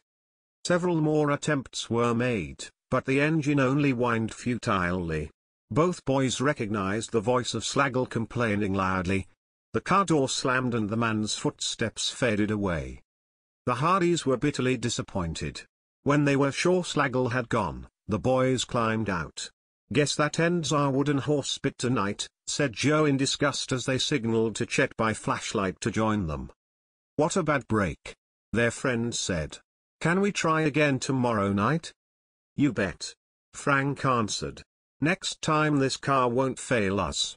By the way, can we borrow a little money from you to tide us over? Sure thing, but I only have ten dollars. Tired and stiff, the Hardys primed the motor and reluctantly it started. They bid goodnight to Chet and drove back to their motel in Harpertown. In the morning they had breakfast and attended church.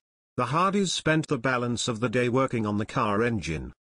Periodically they listened to radio newscasts, but there was no report of thefts. After supper the brothers set out once more. Cross your fingers and hope this car will be stolen, Frank said as they left Harpertown. The three boys had decided upon another spot for their mission, near a deserted fishing area on Shore Road somewhat south of the place used the previous evening. Chet arrived and took up his position in the dark woods. This time Joe had placed an air mattress on the floor of the trunk and each carried a flashlight. As the Hardys climbed in, Threatening storm clouds blotted the night sky. They snapped down the lid. Again the brothers imposed a rigid silence upon themselves. Few cars came by, and only the faint sound of the sea reached their ears during the slowly passing hours. Once Frank and Joe heard the voices of two night fishermen on their way down to the beach. Then it was still again. A boat whistle tooted mournfully from far out on the bay. Another hour dragged by. Would the boys plan to capture the car thief work? A car approached, slowed down, and stopped. Then a door opened and shut quietly before heavy footsteps came toward the hidden boys. After a pause, Frank and Joe heard the front door of their own car close. They waited in an agony of suspense. Would the boys plan to capture the thieves' work? The engine roared to life. In a moment the boys' car was being backed up. Then it spun around and headed south on Shore Road. About a mile farther on, the Hardys braced themselves as the car turned sharply and headed in the opposite direction. Frank held up his fingers in the shape of a V and grinned. The brothers tried to detect the sound of Chet's rattling jalopy to their ear, but could not do so above the noise of their own engine. Joe watched the second hand of his watch, trying to estimate the distance north the car was covering. After eight minutes had passed, they slowed down. Frank heard a loud rattling sound like that of machinery. A tractor. He thought, and hastily whispered. Burnham's farm.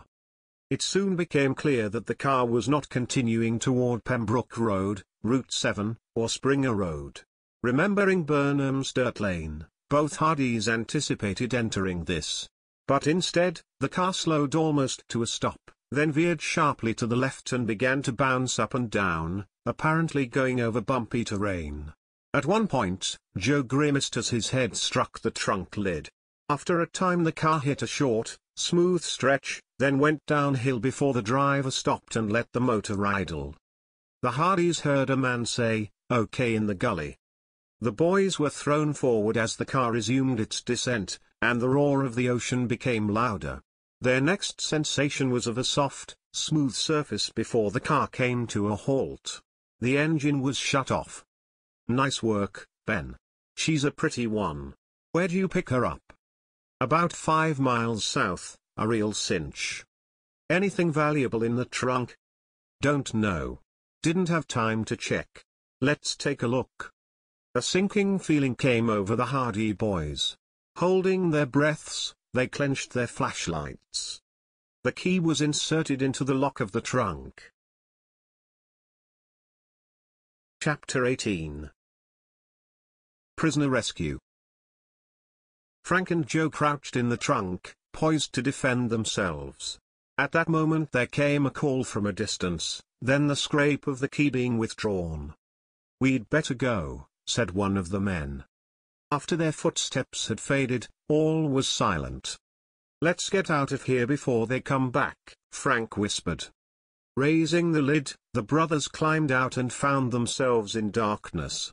They stood on the beach. This is where that black fishing boat docks, Joe whispered. It's anchored out in the cove now. As the boys watched it, Frank said, We cased this inlet from the sleuth and didn't see anything suspicious. The brothers crouched behind up-jutting rocks and beamed their lights upward. There was a short gully from the beach to the grassy slope. Look, Frank hissed. Pegged into the soil near the foot of the slope was the end of a long stretch of thick netting. It must go to the top, he said. That's how they get the stolen cars down. The net would give the cars traction. Slagle's army hit probably taught him this type of operation. Frank reasoned that the bumpy part of the boy's trunk ride had been through Burnham's unplanted field to its far end. To cover tire tracks of stolen cars pronto, he added, the thieves had Burnham use his tractor and disc harrow over the ground. That explains his night farming. Next, the thieves crossed Shore Road for the descent and Burnham brushed away any tire tracks across the road. Joe nodded. The same truck must transport cars at night to Kitchers before shipping them south of here, probably to New York. But that junk we saw put onto the barge puzzles me. Perhaps, Frank suggested, Kitcher was moving it to make room for Slagle's booty. Let's find out where those men who brought us here went, Joe urged. Hugging the cliff base, the brothers proceeded in darkness along the beach. Presently they came to the mouth of a tunnel covered with hanging rockweed. No wonder we didn't know about this place, Joe whispered. The boys noticed a strange odor of explosive powder and several dead bats. Dynamite, said Frank. It was probably what killed the bats we've found, one of them managed to fly as far as Oceanside Beach, the other died when it reached the Dodd farm. Slagle's gang must have enlarged this place to be used as headquarters. A large rock just beyond the entrance apparently stood ready to be rolled into position as extra concealment for the mouth of the tunnel. The boys, their eyes still on the launch, moved farther along the base of the sheer rock cliff hunting for additional evidence. Joe's eyes suddenly narrowed as he saw some mossy vegetation near a cluster of rocky projections. Wading out, he halted and covering the beam of his flash with his hands, held the light directly over the moss. He was about to nudge Frank when they heard a motor start. Joe put out his light. The black fishing boat, a lighted lamp in the stern, began to move to the dock. Quick! Behind these rocks, Frank urged his brother. The boys crouched as the boat glided in. After the craft was moored, Two men jumped from it and walked toward the tunnel entrance. One was the belligerent fisherman. The other, in a black-skin diving suit, they recognized as the man who had attacked them in the sleuth. When the two disappeared through the rockweed, the Hardys followed them up the passageway. A hundred feet in, cold air carried the smell of fresh paint, and presently they began passing newly painted cars. As the Hardys proceeded, with flashlights off, each boy had the same thoughts, were they about to solve the mystery of the stolen cars? Was Chet safely on his way to the police? Would the next few minutes lead them to the three Dodds? Suddenly Frank detected footsteps to their rear. He grabbed Joe's shoulder and they threw themselves flat against the wall, holding their breaths so as not to make a sound. The steps came abreast of them. Slagle, Fortunately, his light beam kept to the center of the tunnel and he soon passed ahead. As Joe breathed out again, he said, that was close. Too close, Frank murmured. Walking forward even more cautiously, the Hardys rounded a bend and sidestepped a pile of broken shale. At several places the passageway was roof-beamed against cave-ins. Chipped out hollows in the walls held automobile tools and rifles. The tunnel came to an end in a large chamber, dimly lighted. Frank and Joe slipped into a narrow side passage, where Frank spotted a small, natural peephole in the wall. He peered into the room. Against the opposite wall three men lounged on boxes near a row of cots. One of them stopped reading a newspaper aloud. Next to them stood several glistening machine guns, an oddly designed mortar, and numerous stacks of lighter shoulder weapons. They must be the foreign arms Merriman is trading with Slagle in return for the cars, Joe thought as he took a turn at the peephole. Suddenly the high-pitched whine of a sanding machine caught the boys' ears and they saw a workman in a spotted white jacket start removing paint from a large, new sedan. Near him another man was spraying a car with green paint. Their appearance evoked Frank's excitement. He thought, that cinches it, those battered-looking cars on the barge were stolen. Instead of just repainting them to look new, Merriman has the color changed and then has the cars made to look worthless without really damaging them, so he can fool the local police. No doubt he spruces them up again when they reach New York. Two cars along a side wall caught Joe's attention.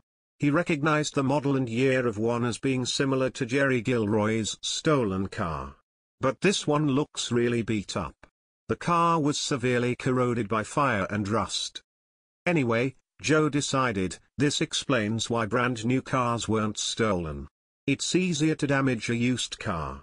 But why do all this disguising? Merriman must think it's worthwhile.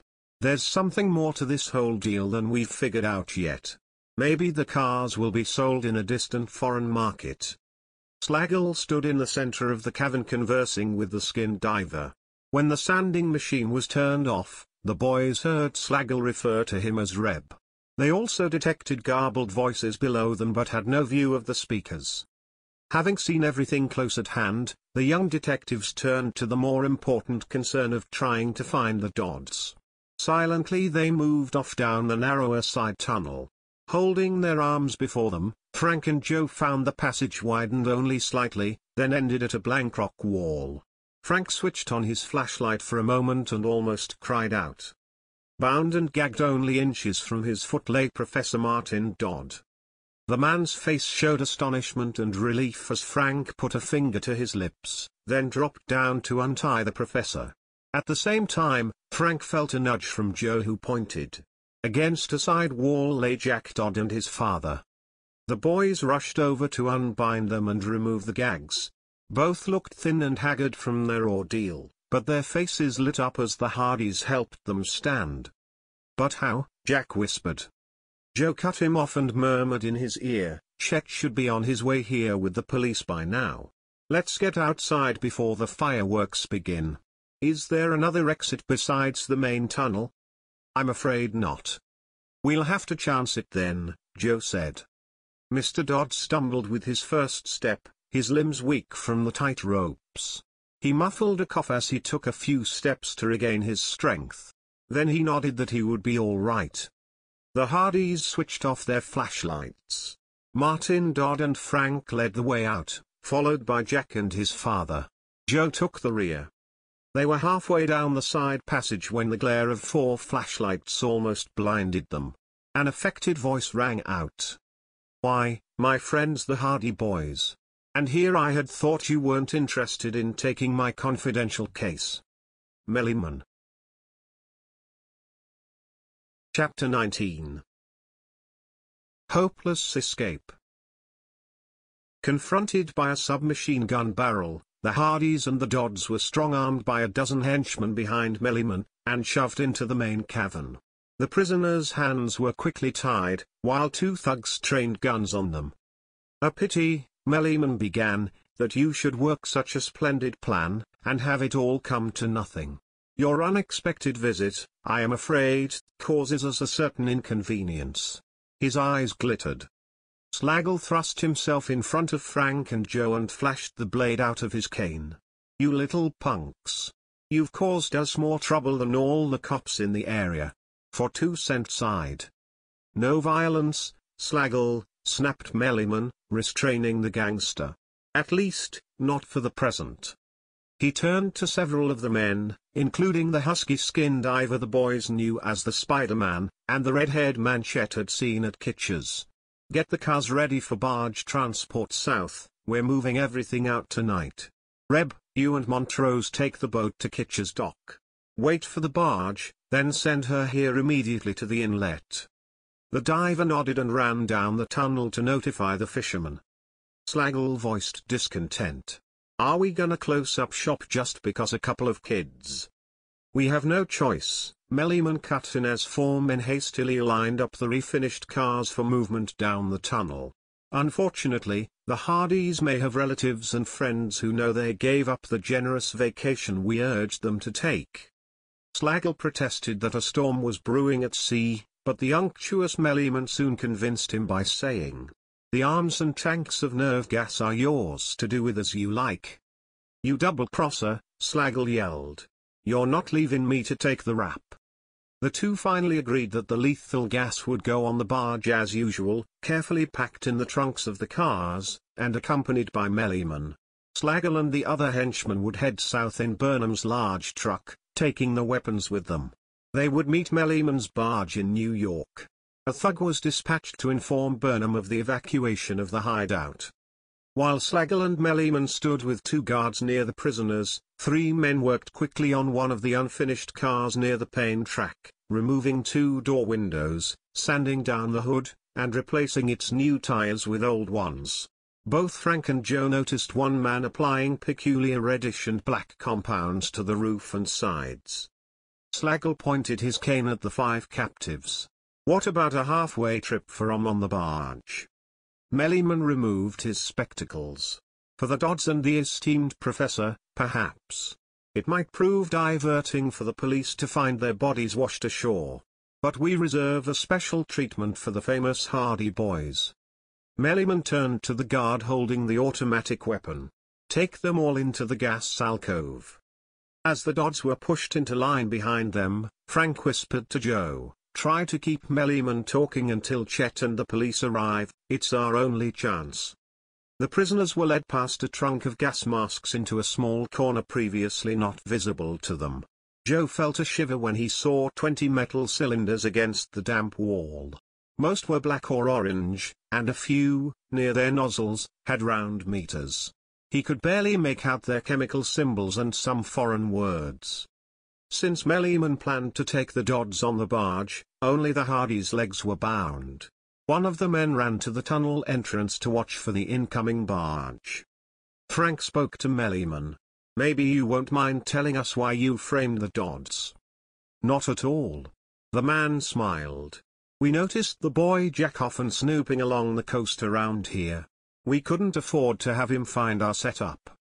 So you had your Spider-Man sabotage his boat off Oceanside Beach? Joe asked. Yes. Unfortunately, it didn't prove successful. Since your friends live on Shore Road, we conveniently made them suspects and, shall we say, arranged for them to jump bail. Immediately the Hardys realized that the gang had not known of the Dodd Pilgrim mystery when they captured the farmer and his son. They were surprised, therefore, when Jack said, I never got a chance to tell you fellows my ideas about the treasure clue. I had looked inland and thought I'd search along the coast. He frowned. Guess I was wrong. Frank was about to suggest that Jack say no more, when Merriman interrupted. Oh, yes, my friends and I first learned about this treasure when the Dodds came here as our guests. Jack was rather heated about our understanding of his coast prowling and let it slip out. But since then, both he and his father have been uncooperative in sharing their family secret with us. Frank changed the subject and asked Merriman, what led you to postpone your car shipment last Thursday at Kitcher's docks? The weather, Slagle put in, surprised to learn the boys had been there. Yes, Merriman said. I conceived our ingenious car disguises, although my partner here has helped considerably with his knowledge of camouflage. I figured if his rust and char coatings did not wash off in rain, weather would be of no concern to us. Nevertheless, we have tarpaulins on the barge, and tonight's impending storm should cause us no difficulties.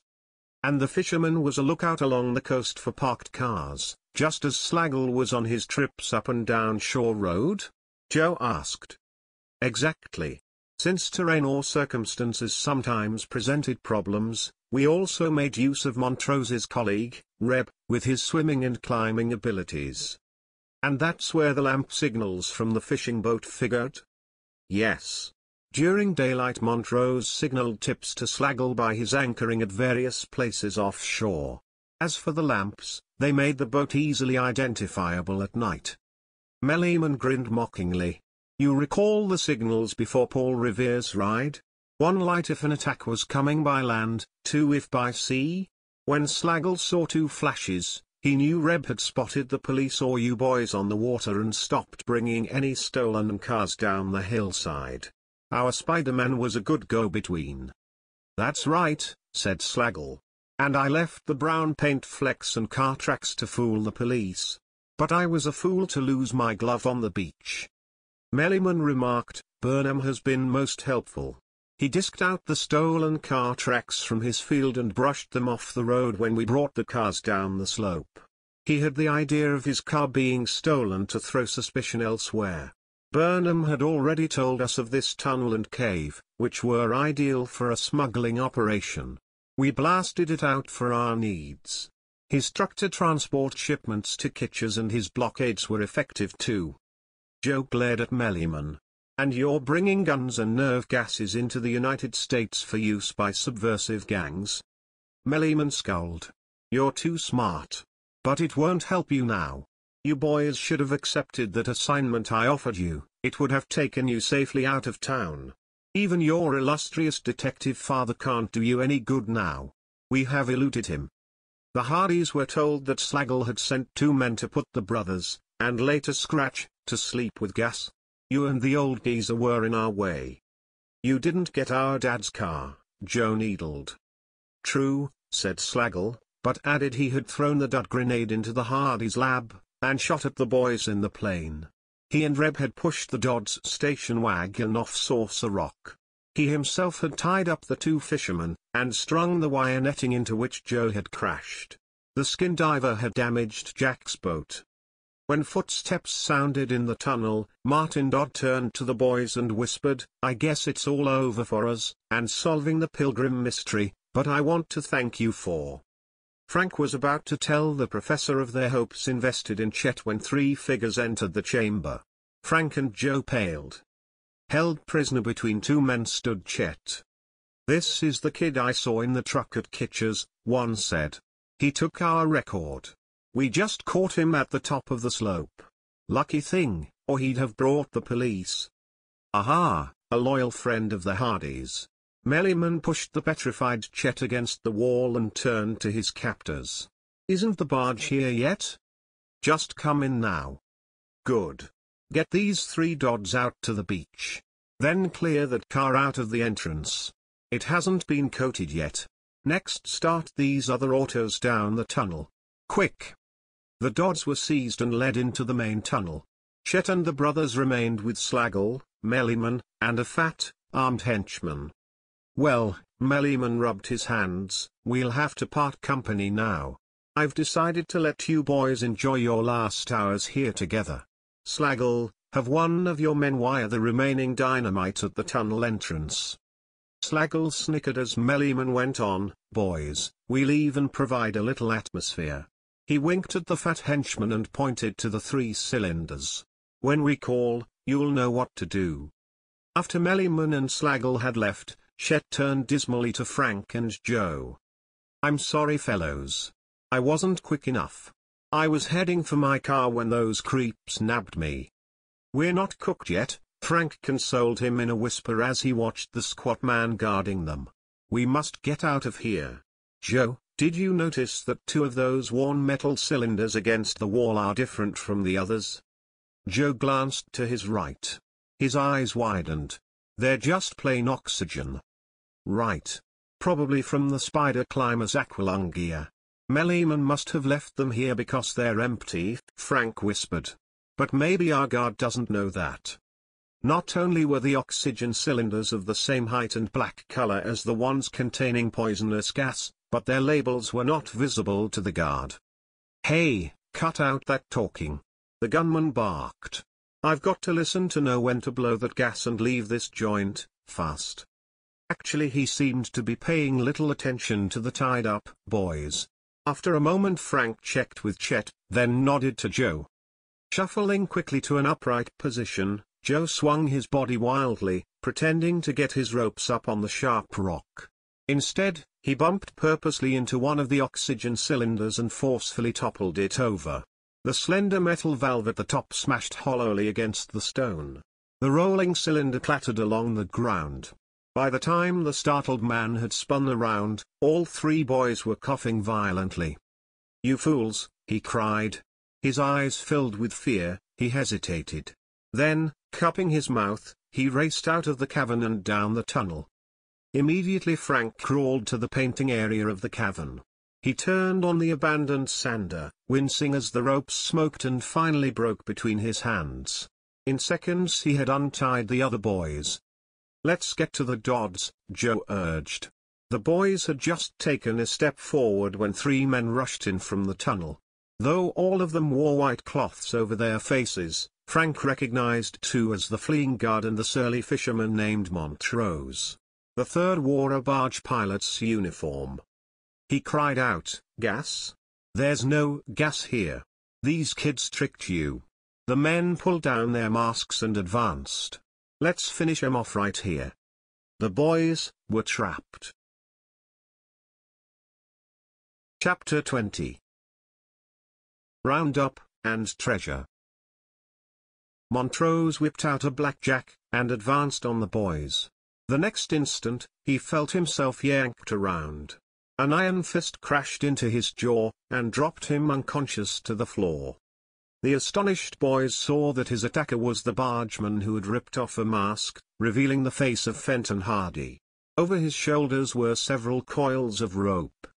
Losing no time, Joe rushed the equally astonished guard. Blocking a wild swing, he drove a punch into the man's solar plexus. He doubled up and fell to his knees. Quick! Let's get these men tied, Frank urged. He grabbed the rope from his father and with Chet's help bound both men securely. Mr. Hardy gagged them. Chet exclaimed, Mr. Hardy, you're a magician. How did you ever? When I got my son's telegram about the wooden horse plan I was just finishing the last stage of my undercover work on Merriman's operations. I thought you might need help, so I stowed away on that barge when it docked at Kitcher's to deliver smuggled arms that were going to Slagle. Frank briefed the detective on the excitement of the past few hours. But Chet never got to the police. Mr. Hardy smiled. I have good news. They should be on their way here right now. When that man in the fishing boat signaled an emergency call to the barge, I KO'd the barge pilot, then borrowed his uniform and came ashore. But first I alerted the police over my shortwave radio to grab Kitcher and watch where the fishing boat headed. And then you heard the gas alarm from this guard when you docked? Joe asked. Right. One of the thugs on the beach suspected it might have been an empty oxygen tank you boys had knocked over. But when they took the precaution of putting handkerchiefs over their faces, it gave me a chance to come along undetected by doing the same thing. Leaving the thugs securely tied, Mr. Hardy led the boys toward the beach. It's my guess, said Frank, they have the Dodds in one of those cars they're loading onto the barge. Then we'll have to stand them off until Collig's men arrive. His father said. He and the boys halted just inside the entrance and peered out through the curtain of rockweed. The barge rocked gently at the tip of the dock, its lights out. A few cars were already aboard. The Hardys' own automobile stood nearby, while Burnham's truck was parked at the end of the gully. Guns and crates were being loaded into it quickly, as black storm clouds rolled ominously over the scene. Do you think the gang's lookouts may spot the police? Frank murmured. Could be, his father whispered. How many routes are there off this beach? Just one, that gully over there, Chet answered. It connects with the grassy slope to the top of the cliff. A short time later the barge was fully loaded. A man began untying its mooring rope. Mr. Hardy fastened his handkerchief over his face. I'm going to draw some of them into the tunnel. Think you boys can cause them a little trouble out there on the beach? I'll handle the gully, Joe whispered. Chet and I will watch the barge, Frank offered. When the boys had backed against the rock wall near the tunnel, the detective ran toward the barge and gave a muffled shout. Hey, quick, some of you guys give me a hand with these kids in here. At once several footsteps pounded down the ramp onto the dock. Mr. Hardy dashed back into the tunnel. In a moment four men raced in after him. At once Frank, Joe, and Chet sprang into action. Joe ran toward Burnham's truck, which was guarded by two men. After landing a stunning punch to one thief's jaw, he blocked the other with an upturned crate. Like lightning Joe leapt to the right front tire and drove his pocket knife deep into the thick rubber until it collapsed. Yanking out the knife, Joe bounded into the gully. Meanwhile, Frank and Chet were sprinting to the barge ramp. As Frank glanced back, he saw Chet trip, and the stocky figure of Burnham rushing to tackle him. Chet threw him off, however, and Frank rushed onto the ramp. Two men on the barge charged him. Sidestepping the larger thug, Frank recognized the second man as Montrose. The boatman raised a tire iron, but got no further as Frank's head rammed into his midriff. With a groan, Montrose toppled backward onto the dock. The next second Frank felt a sharp blow on his shoulder and the two strong arms of Slagle dragged him out to the beach. Slagle thrashed at Frank with his cane and the two rolled over and over in the wet sand. Suddenly the sound of wailing sirens put an end to the struggle. Slagle leapt up and bolted toward the tunnel. At the same time came a shout. Cops! Dazed, Frank staggered to his feet in time to see four men climb into the brothers' car and race it into the gully. Searchlights flashed on the beach and policemen swarmed down the grass slope. Just then a figure darted past Frank onto the barge. Merriman. Before Frank was halfway up the ramp, Merriman had kicked out the tie braces of one of the cars and rolled the car over the edge into the water. For an instant Frank wondered why. Then he thought, the Dodds must be inside. Merriman now leapt aboard the adjacent fishing boat. By this time Frank was in the water swimming in the direction of the sinking vehicle. When he reached it, Frank could see the three helpless Dodds within. The water was rising rapidly. Frank pulled on a door, but the pressure against it was too great. Hold on, he yelled. Fortunately, two policemen had followed Frank. Together, they pulled the door open, yanked the Dodds out, and bore them safely through the rising waves to the beach. Chief Collig rushed up. Are you all okay? Fine, thanks sir, Jack gasped as he was cut loose. His father and uncle, having swallowed some water, coughed violently but soon were able to stand up. The crooks escaped in our car, Frank exclaimed, starting toward the gully. Collig stopped him. Your brother pulled a fast one on them. He waited at the top of the cliff until they were halfway up the slope, then unfastened the netting. As it slid down, they couldn't move, and our men caught them. Your dad, after tunneling up half the gang, also took care of this fellow with the cane. He was still out cold when we handcuffed him. Just then Joe ran up, his face flushed with excitement and relief at the Dodds' rescue. When Mr. Hardy joined the group, the others learned that Merriman had not escaped in the fishing boat. Apparently he couldn't get it started. And why not? asked a familiar voice with a proud ring in it. Chet. Soaked to the skin, Chet added, a knowledge of botany goes a long way, especially in learning to knot seaweed into a boat propeller. By now, Slagle, Merriman, and the rest of the prisoners had been led away to police cars on the cliff above. Only Collig and another officer remained on the beach with the Hardys and Dodds. The tide was rolling in now, and jagged streaks of lightning could be seen. How can we ever thank you Hardys and Chet enough? Mr. Dodd said. Collig added, you boys will be receiving a handsome reward for your work. Joe's eyes glistened. I think there's another case we're going to solve tonight, the Pilgrim Mystery. He sloshed through the surf which had almost covered the beach. Chet, Frank, and the Dodds joined Joe as he pointed to some leaves along the cliff. Puzzled, Mr. Hardy and Collig watched from the remaining strip of dry sand. I noticed this algae earlier tonight, and if I'm not wrong, it matches the leaf in the pilgrim message, Joe declared. You're right, Jack exclaimed. But the message seems to indicate a place on land. Maybe we've been on the wrong track, said Frank. Professor Dodd, can you remember the last words of the clue? The tall professor knew them by heart. Crash of countless breaking black. Billows. Not willows. Joe finished. Waves would break in a hurricane as well as trees. Joe. The professor cried excitedly. My calculations on the position of Venus, which is now obscured by clouds, had led me to this area of the coast a short time before I was seized by Slagle's men. Chet pulled a soaked book from his pocket. That growth is Chondrus crispus, Irish moss.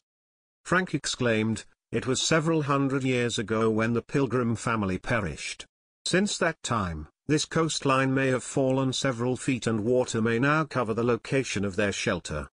Then there may be a cave in the slope near where we're standing, Jack cried out. Another streak of lightning could be seen in the distance and the waves were rising over the moss-covered rock. Let's look before the storm gets here, Joe urged. With flashlights turned on the scene by the men, the four boys kicked off their shoes, stripped to their shorts, and dived in. Suddenly Frank came up and shouted, I see something. Chet, Jack, and Joe swam over to him. Then all four vanished beneath a rough wave. Twenty seconds later they surfaced, holding a heavy object. Treading water, they maneuvered the object to the beach. It was a steel-bound wooden chest. Excitedly they set it down in the sand beyond the incoming tide, as the rest of the group rushed up. The metal had rusted almost to powder, and several holes gaped through the rotting wood. With Joe's help, Jack raised the wobbly lid, and everyone stared in wonderment. Piles of green and blue jewels, strings of ruby beads, and rotted pouches of gold coins glistened with seawater amid brown weeds and Irish moss. Near one corner lay a large, algae-covered object. Look! Martin Dodd exclaimed excitedly. It was a bottle. He handed it to Jack's father, who carefully unstopped it and removed a long roll of worn papers. The others gathered around as he read the first words aloud. The record of a perilous voyage, in search of the horseshoe-shaped inlet, in the year of our Lord 1647, by Elias Dodd. We've found it, Jack exclaimed. As a streak of lightning creased the black skies, Frank glanced up at the cliffs. Suddenly he cried out, there's the answer to the clue's last words. At the next flash the others looked up at the glistening rock. It had all the appearance of a vein of gold. Drenched but happy, everyone walked toward the brothers' car. Each of the four boys bore a corner of the chest.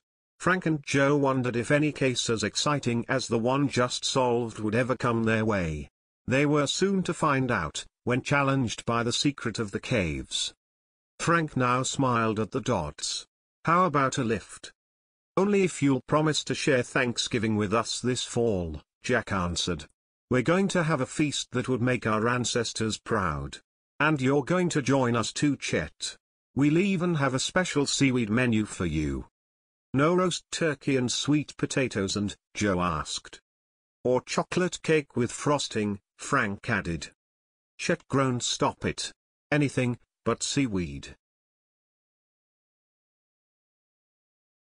End of story.